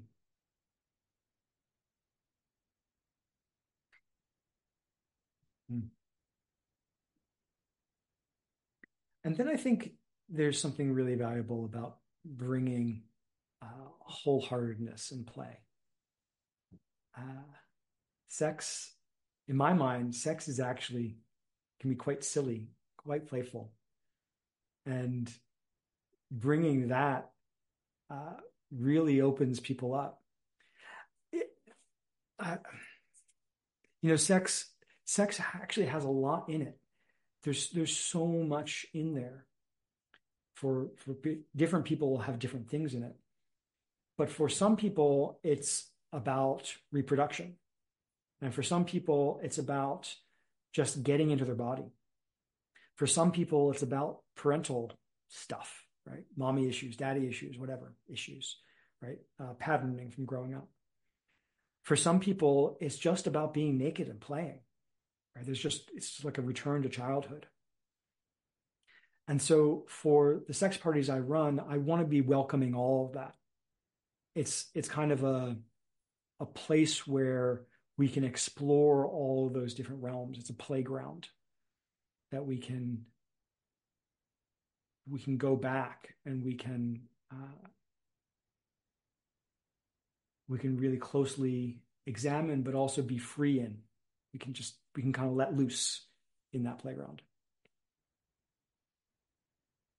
So having this this tone of of welcoming, uh, and you know, for some people, sex is is actually is not any of those things. It's it's something else, right? Especially in the BDSM world, right? It's a it's a lot about um, experiencing the trappedness. Experience there's like a kind of there can be a kind of horror in it almost, but uh, sexuality is is a way of of permissioning that and going into it and exploring it. Pain and um, bondage and uh, yeah, all these negative negative things right, that we can then transmute through the act of sexuality. Hmm. Hmm. What a beautiful answer.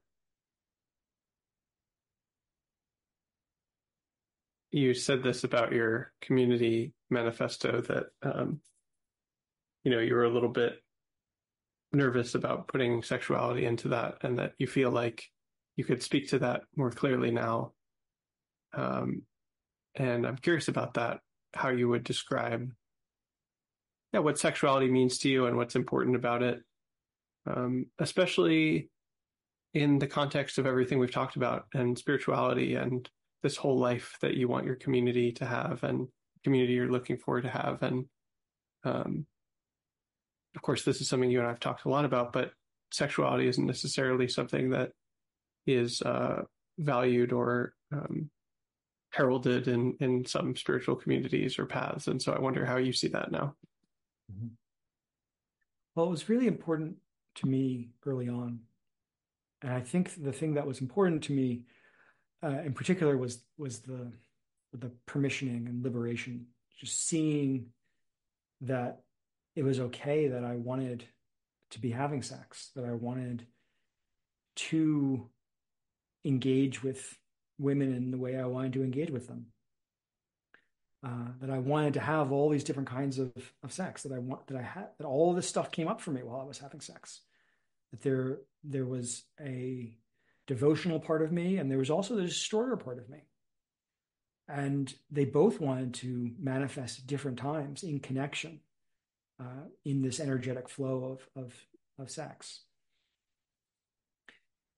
And so a lot of the early exploration was just kind of this permissioning of all of that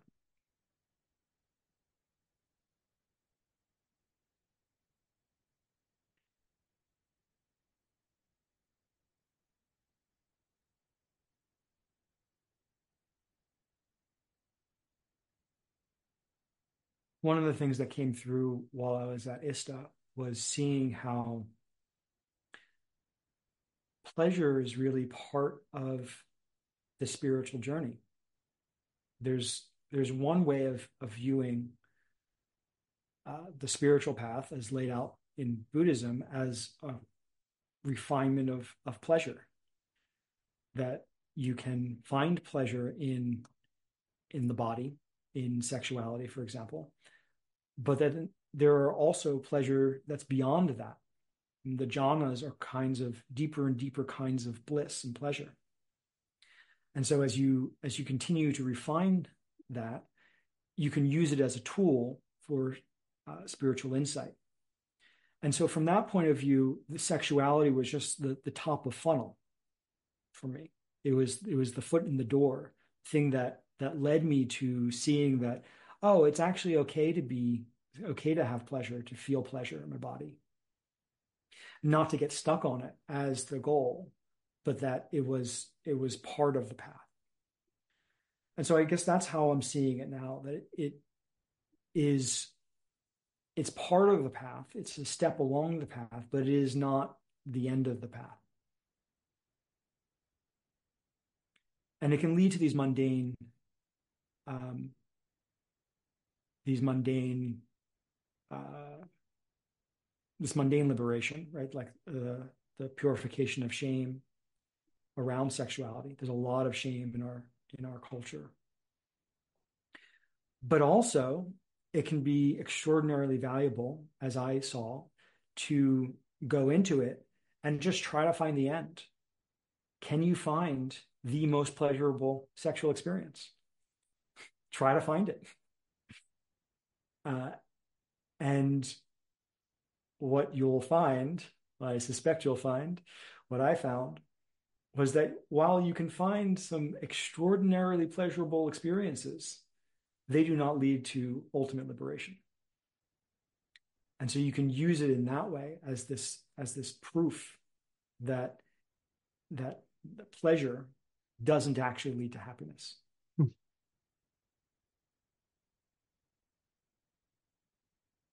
No, I'm just imagining you crafting a sex party around that, cultivating that particular insight. uh, uh, uh. Well, you have very generously answered my questions about many topics. I wonder if there's anything you'd like to talk more about or dive more deeply into. Yes. There are a couple things I wanted to talk about. Hmm. I'm I'm curious how how you see the path of love hmm. and what is what what distinguishes the path of love from other spiritual paths hmm. Oof. Um, you know, what comes to me in this moment, and I, I'm sure that I'll frame this differently in a different context, but in the context of this conversation, to some extent, honestly, Zev, I'm just almost like LARPing a spiritual path that I want to practice.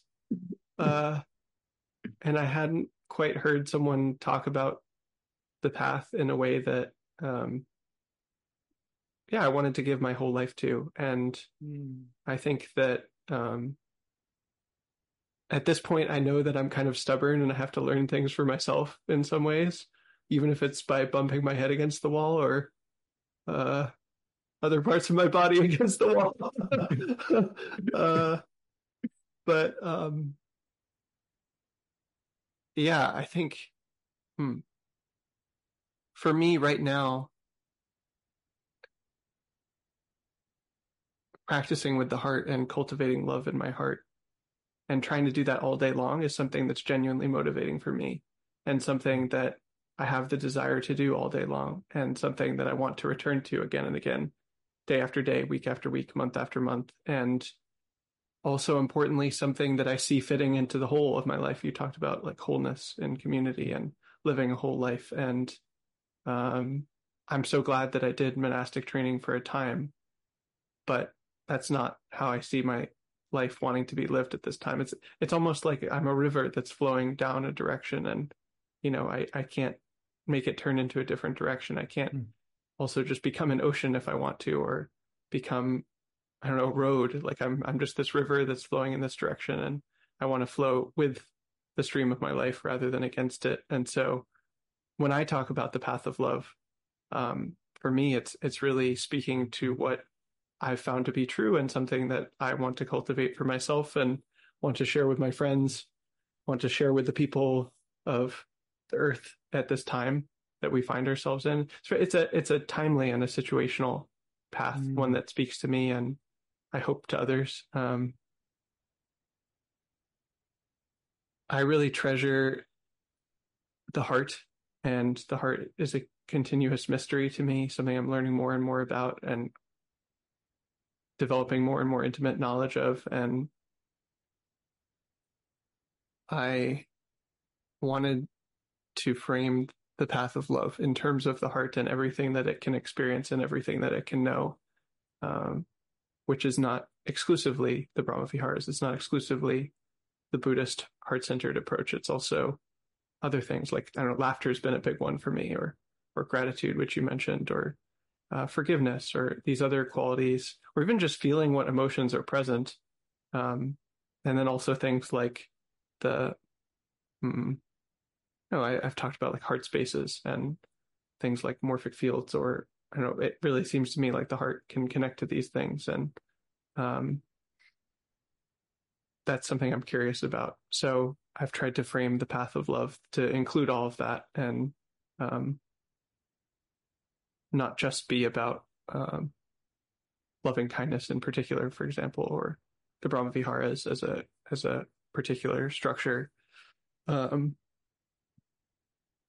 it's also one that's like playful and uh, expressive and creative and includes art or music or um, you know silliness as you talked about or or sexuality or or dance and um, I want it to be something that impacts the culture and that's something we've talked a lot about and mm. that's um, I don't know that's fun I want it to be fun like I want to that's something I've really come to value I value fun I want my life to be fun um, like yeah I want to look back when I die and say I'm proud of what I've done and it's been a good life and it's been a benefit and all, all of that, of course. But like today, right now that I'm living, I want to have fun too. And um, that doesn't mean I need to just be a hedonist or just um, get pleasure in whatever way at whatever cost or something. But I, I really would like to enjoy my life. And um, even if I'm cultivating the spiritual path or these virtues, I want to do it in a way that I actually enjoy and that's life giving for me. And so, you know, like the metta dance parties, for example, are just such a good mm-hmm. example of this of like, I don't have to force myself to go to a metta dance party or to practice in that way. It's like literally every time it's just such a joy. And, um, like I'm, I'm up, to, I'm like created the party I wanted to attend, you know, and I'm glad that other people also want to be there. But even if it was just me and BI or just me and you and BI or something like, uh, that'd be great, you know, like I'd still do it. And um yeah. Uh I I think the last thing I'll say about that is um how to put it.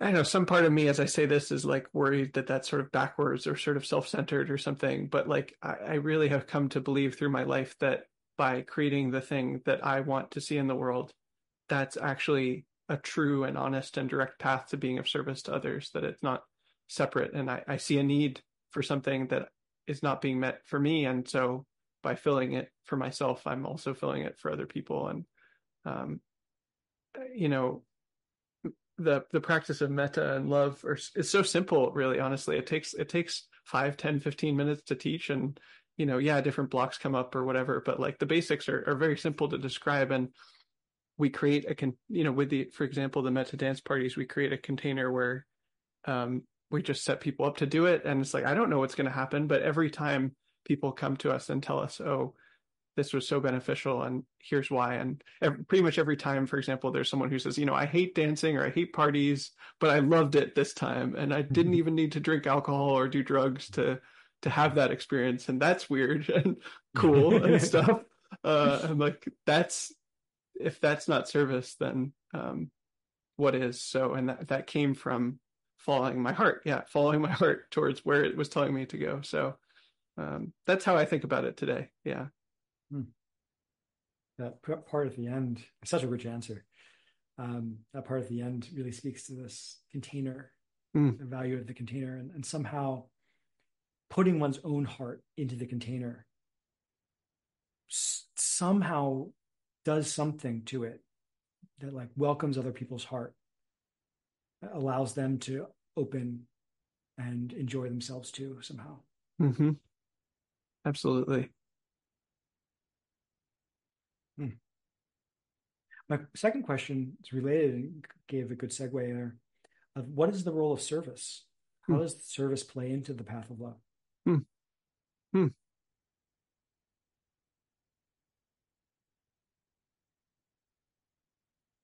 Well, the way I currently think about it from the perspective of love and the path of love and the heart that what you're practicing is perceptions and you're practicing loving thoughts and ideally pretty soon loving feelings and learning to bring those up more and more. Uh, the baseline at the beginning is like one loving thought a day and then hopefully as soon as you can start to feel love then it's like one loving feeling a day. And everybody's got time for that. You know, you can't tell me you don't have time for that. Uh, you may say I don't want to do that. That's fine. But like, if you want to do this, it's it, the baseline is very simple and very easy. Um, I recommend first thing in the morning. Uh huh. Yes. Yes. Uh,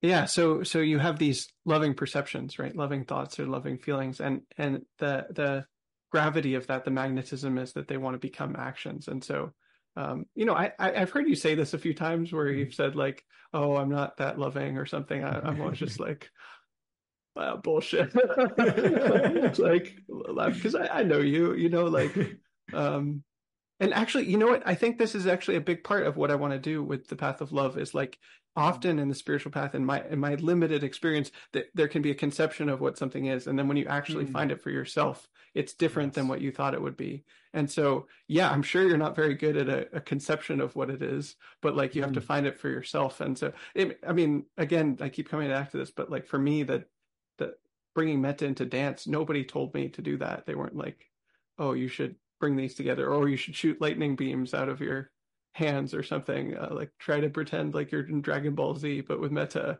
uh, mm-hmm. nobody ever gave me that instruction but i found that and um, you know uh, you are such a loving person and i am a loving person in fact i really believe everyone is a loving person that that wants to come out and so um, service is when those loving thoughts and feelings become action and you you know say something kind to someone mm-hmm. or you smile at them or you go out of your way to help someone in some way that you feel called to. Um, and and of course, for me, s- service is fun.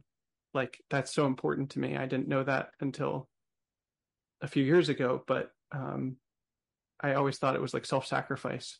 But when you're really mm-hmm. doing it, it's it's joyful and it's life-giving, and um, mm-hmm. it's not separate from fun. So, mm-hmm. yeah, yeah doing something together in service uh, that helps other people is is tremendous fun. Mm-hmm. We've we've we've had a lot of fun together doing that. we have doing some service projects. Yeah. Mm. Mm.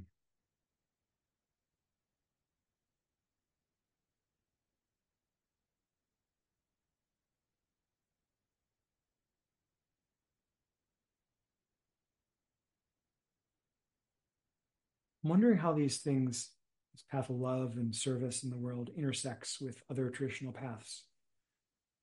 Hmm. Like the how is it is it different? Is it is it the same? Is it how does it complement them? Is it just maybe it's just your your flavor of expression of the Dharma?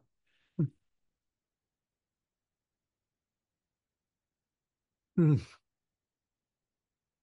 What feels similar and what feels different to you? Hmm. Well, I really liked your what you just said about how you have to really find how it manifests for yourself. I I'm one one of the things I'm finding is that what love means to me is is this kind of permissioning hmm. is permissioning myself to have all the thoughts and feelings that I'm having. But that's that's the way of of loving myself. And there are other ways of loving myself too. Sometimes I, I just need like a hand on my heart or I need to tell myself I'm making such good effort. But a lot of the the love for myself is this permissioning, is just allowing whatever wants to come through to come through. And it doesn't look like um, shooting uh, love beams out of my hands for me. Mm-hmm. It it looks like this this really spacious, like yeah, great. You you're so angry. I love that.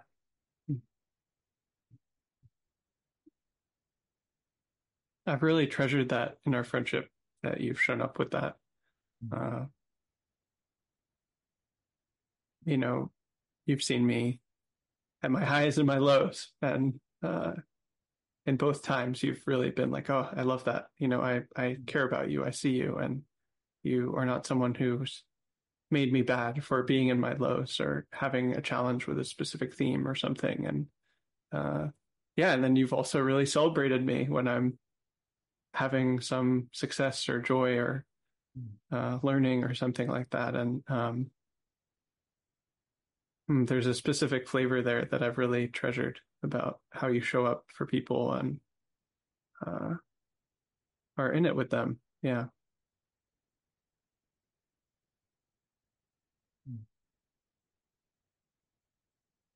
I think I feel especially able to feel show up with people in their intensity. Mm. hmm It's something that perhaps I've struggled with in the past is holding my own intensity. And as I become more and more skilled in it, it's a, it's a way I can show up for others and be with them in in all of their uh, expression, intense expression of emotion, or ener- or just raw energy. Sometimes, sometimes it's just like coming through as the body shaking, or as panic, or as something else. Mm-hmm.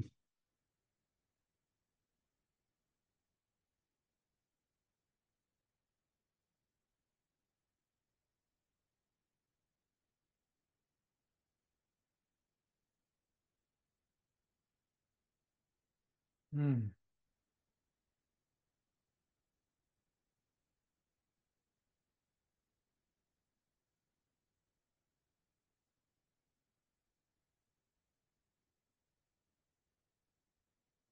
Hmm. Is there anything else you'd like to talk more about? Mm.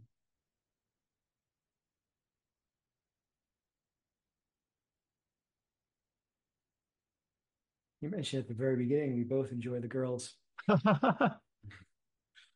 I'm wondering what it's like for you. What um,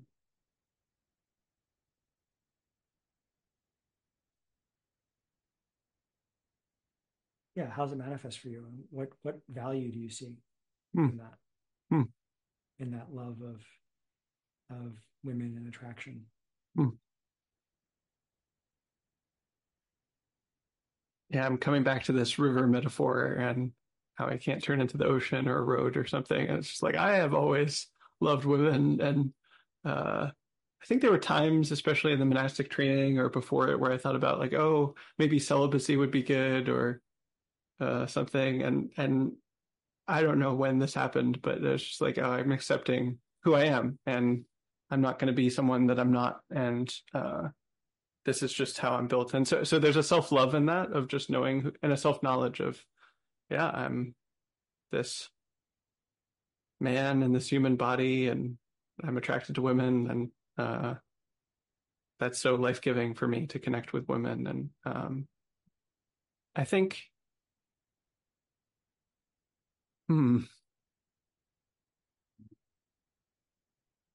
on the one hand, like in a very worldly way, I love sexuality and romance, and um, that's of course so enlivening for me, uh, as with most people, I think, or a lot of people, um, in, in just a very like ordinary way. I don't think that there's something special about that.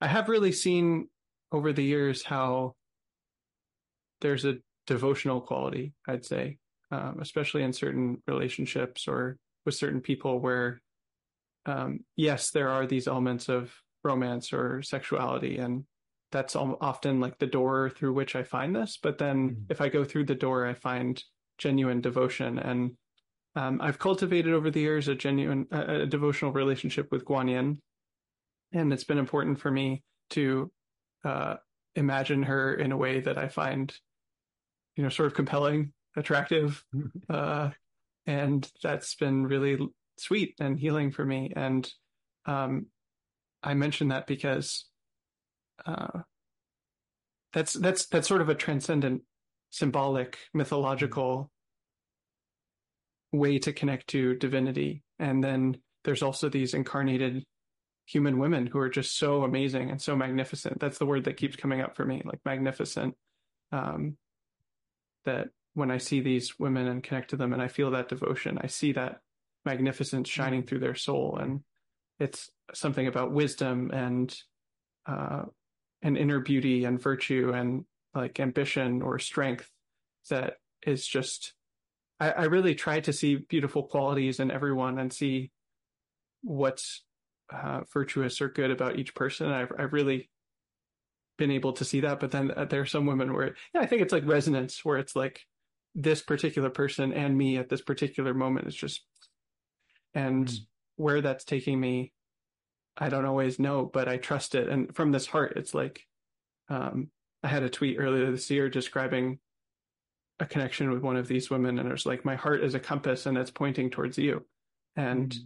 where is that going to go? I don't know. I really don't know. And that's that uncertainty is sometimes painful or challenging or confusing, but I know this is the direction. And I've seen again and again that when I follow my heart, whether it's with women in this case or or in any way, that that leads to the next thing. And um, it makes it makes life an adventure, and I I love that. I want to be living an adventure. So, yeah. Mm. Uh, I don't know how you describe it, but that's that's what comes up for me with the ladies this day, today. So much of that actually resonates with me as well. Uh, mm. The devotional aspect. There, there's something about women that I I'm able. It, it, it's just like it brings forth uh, in me this quality of devotion. And it feels so good to be in that uh, to be in that um, that worship that admiration. Yeah uh, it's like devotion feels so good and if the way i can get it is by being with women well all right i guess that's the way to do it. Mm. Um, and as you're saying of course i, I want to be seeing these positive qualities in everybody I, I, I cultivate that. I work on that. And when it particularly resonates, then double down. You really use that as a as a moment to practice, to find every last thing that I can admire about someone. Mm. For me, whenever I've really given that kind of love and shown up with that kind of love, like it changes the way I love everyone and reminds me how to love everyone and it affects mm. everyone else. And so, uh, it, yes, it's sort of connected to one person, but then I learn again how to love everyone else and show up anew. And mm, that's been beautiful to watch again and again. I think there's also, again, something in here about the as I've as I've said many times already, that the the ultimate goal is not is not pleasure, but pleasure does do something to the mind that I think is very useful. Uh, it somehow like cancels out some of the unpleasantness, which can cause it to become addictive. But it also uh, somehow a mind that is that is in pleasure seems to be able to let go more easily. Hmm. And so I, my sense is that when you're with beautiful scenes or people, whatever it is, uh, that that's a doorway. That's a that's an opportunity to cultivate uh, the the deeper kind of relinquishment and um, these other qualities. Hmm. Definitely tracks so, in my experience. Yeah. Yeah. So like when it, when it's when it's there, great. Make full use of it. yeah. Yeah. Hmm. I'm just holding in my heart like the words you just said and then the knowledge of my life and what's happening in my life and uh, like uh yeah I'm I'm doing that. yeah. Uh trying anyway. Um well uh yes, let me figure out how to put this into words. I had a, I had a super strong crush this year, and again, I, I don't know where that's going to go in like reality, as it were, but um, reality, as it were. that's an interesting phrase, but mm-hmm. um, hmm, one of the just one of the things that came out of that was um, an idea for a story, and so I'm I'm writing two novels in parallel right now, and one of them is this idea for a story, and it's really um, for for me right now, fiction's one of the most alive things, and making stories and writing them and learning how they work, and also watching movies or reading novels to understand and sort of train in that, and um, that in a in a weird way that I nobody ever told me, but like that's my spiritual path right now is like going down into these worlds and these stories and these worlds that um my heart is called to and they're they're not the ones that I would have like chosen up here like I'm not writing a really cool sci-fi story, for example, that like my 12 year old self would think is badass or something. Like I'm not writing the next Star Wars or something. Uh, it's like I have no idea where these worlds come from or why they're calling me, but they are, and um, th- there's a devotion in that. Actually, it's like transmuting into. I, I don't know why, but my my heart is drawing me here, so here we go, and um, I'll have to see where that story takes me, but I'm curious to see. Yeah, Hmm. yeah. Hmm. Yeah, it's really interesting how just life seems to take you somewhere. Uh, it's been um been on my mind recently. Just this, like there are certain conditions of my life. I, I had a certain upbringing. I've had certain opportunities, and resisting them or trying to make it something different than it is is not it's not the way. Hmm. It's like just working with all those things, and my life is going to take me somewhere. Um, I'm the, the thing to do is kind of just to go with it and see, as you're saying, where where's my heart lead? Follow that. Show up for every next every next beat of the heart. That's right. That's right. Uh, hmm. I'm really glad you didn't run away. Like that was such a that was such a late 2018 Tasshin thing to say. Like, oh, you might want to run away halfway through. Like, don't. Like, I, I probably wouldn't get if I was in that context now. I wouldn't give that advice. But I'm glad I gave you that advice, and I'm glad you didn't run away because we probably wouldn't be friends if you had run away. so, amongst other things. So, uh, good job, our past selves. Yeah. Yes. I had such a convoluted, crazy, I probably, probably, I don't know whether it would have worked out, but I, I had this, this scheme in my, in, in my mind. I, I got a list of, uh, like three friends that I wanted to call and like get a, a majority of them to agree about whether I should stay or go because I Uh. didn't trust myself. And Uh-huh. Uh-huh. Wow. Wow. That's so funny. That's that's so that's so optimizer Zev. it's very optimizer Zev. Uh, uh, Treating my decision making process as a Byzantine fault tolerance system. oh my goodness. Oh my goodness. Uh, uh. Mm. Well, thank you so much for joining me today and really sharing your heart and bringing your heart and telling me about your life and answering my questions. It's been such a treat, and uh, I'm I'm so proud to be sharing you with the world in this way. So, yeah, Mm. thank you so much, Zev. Well, Thank you so much for um, asking such uh, questions that really draw me out and for answering questions I gave you in um, such a rich way for a fun conversation. Thank you.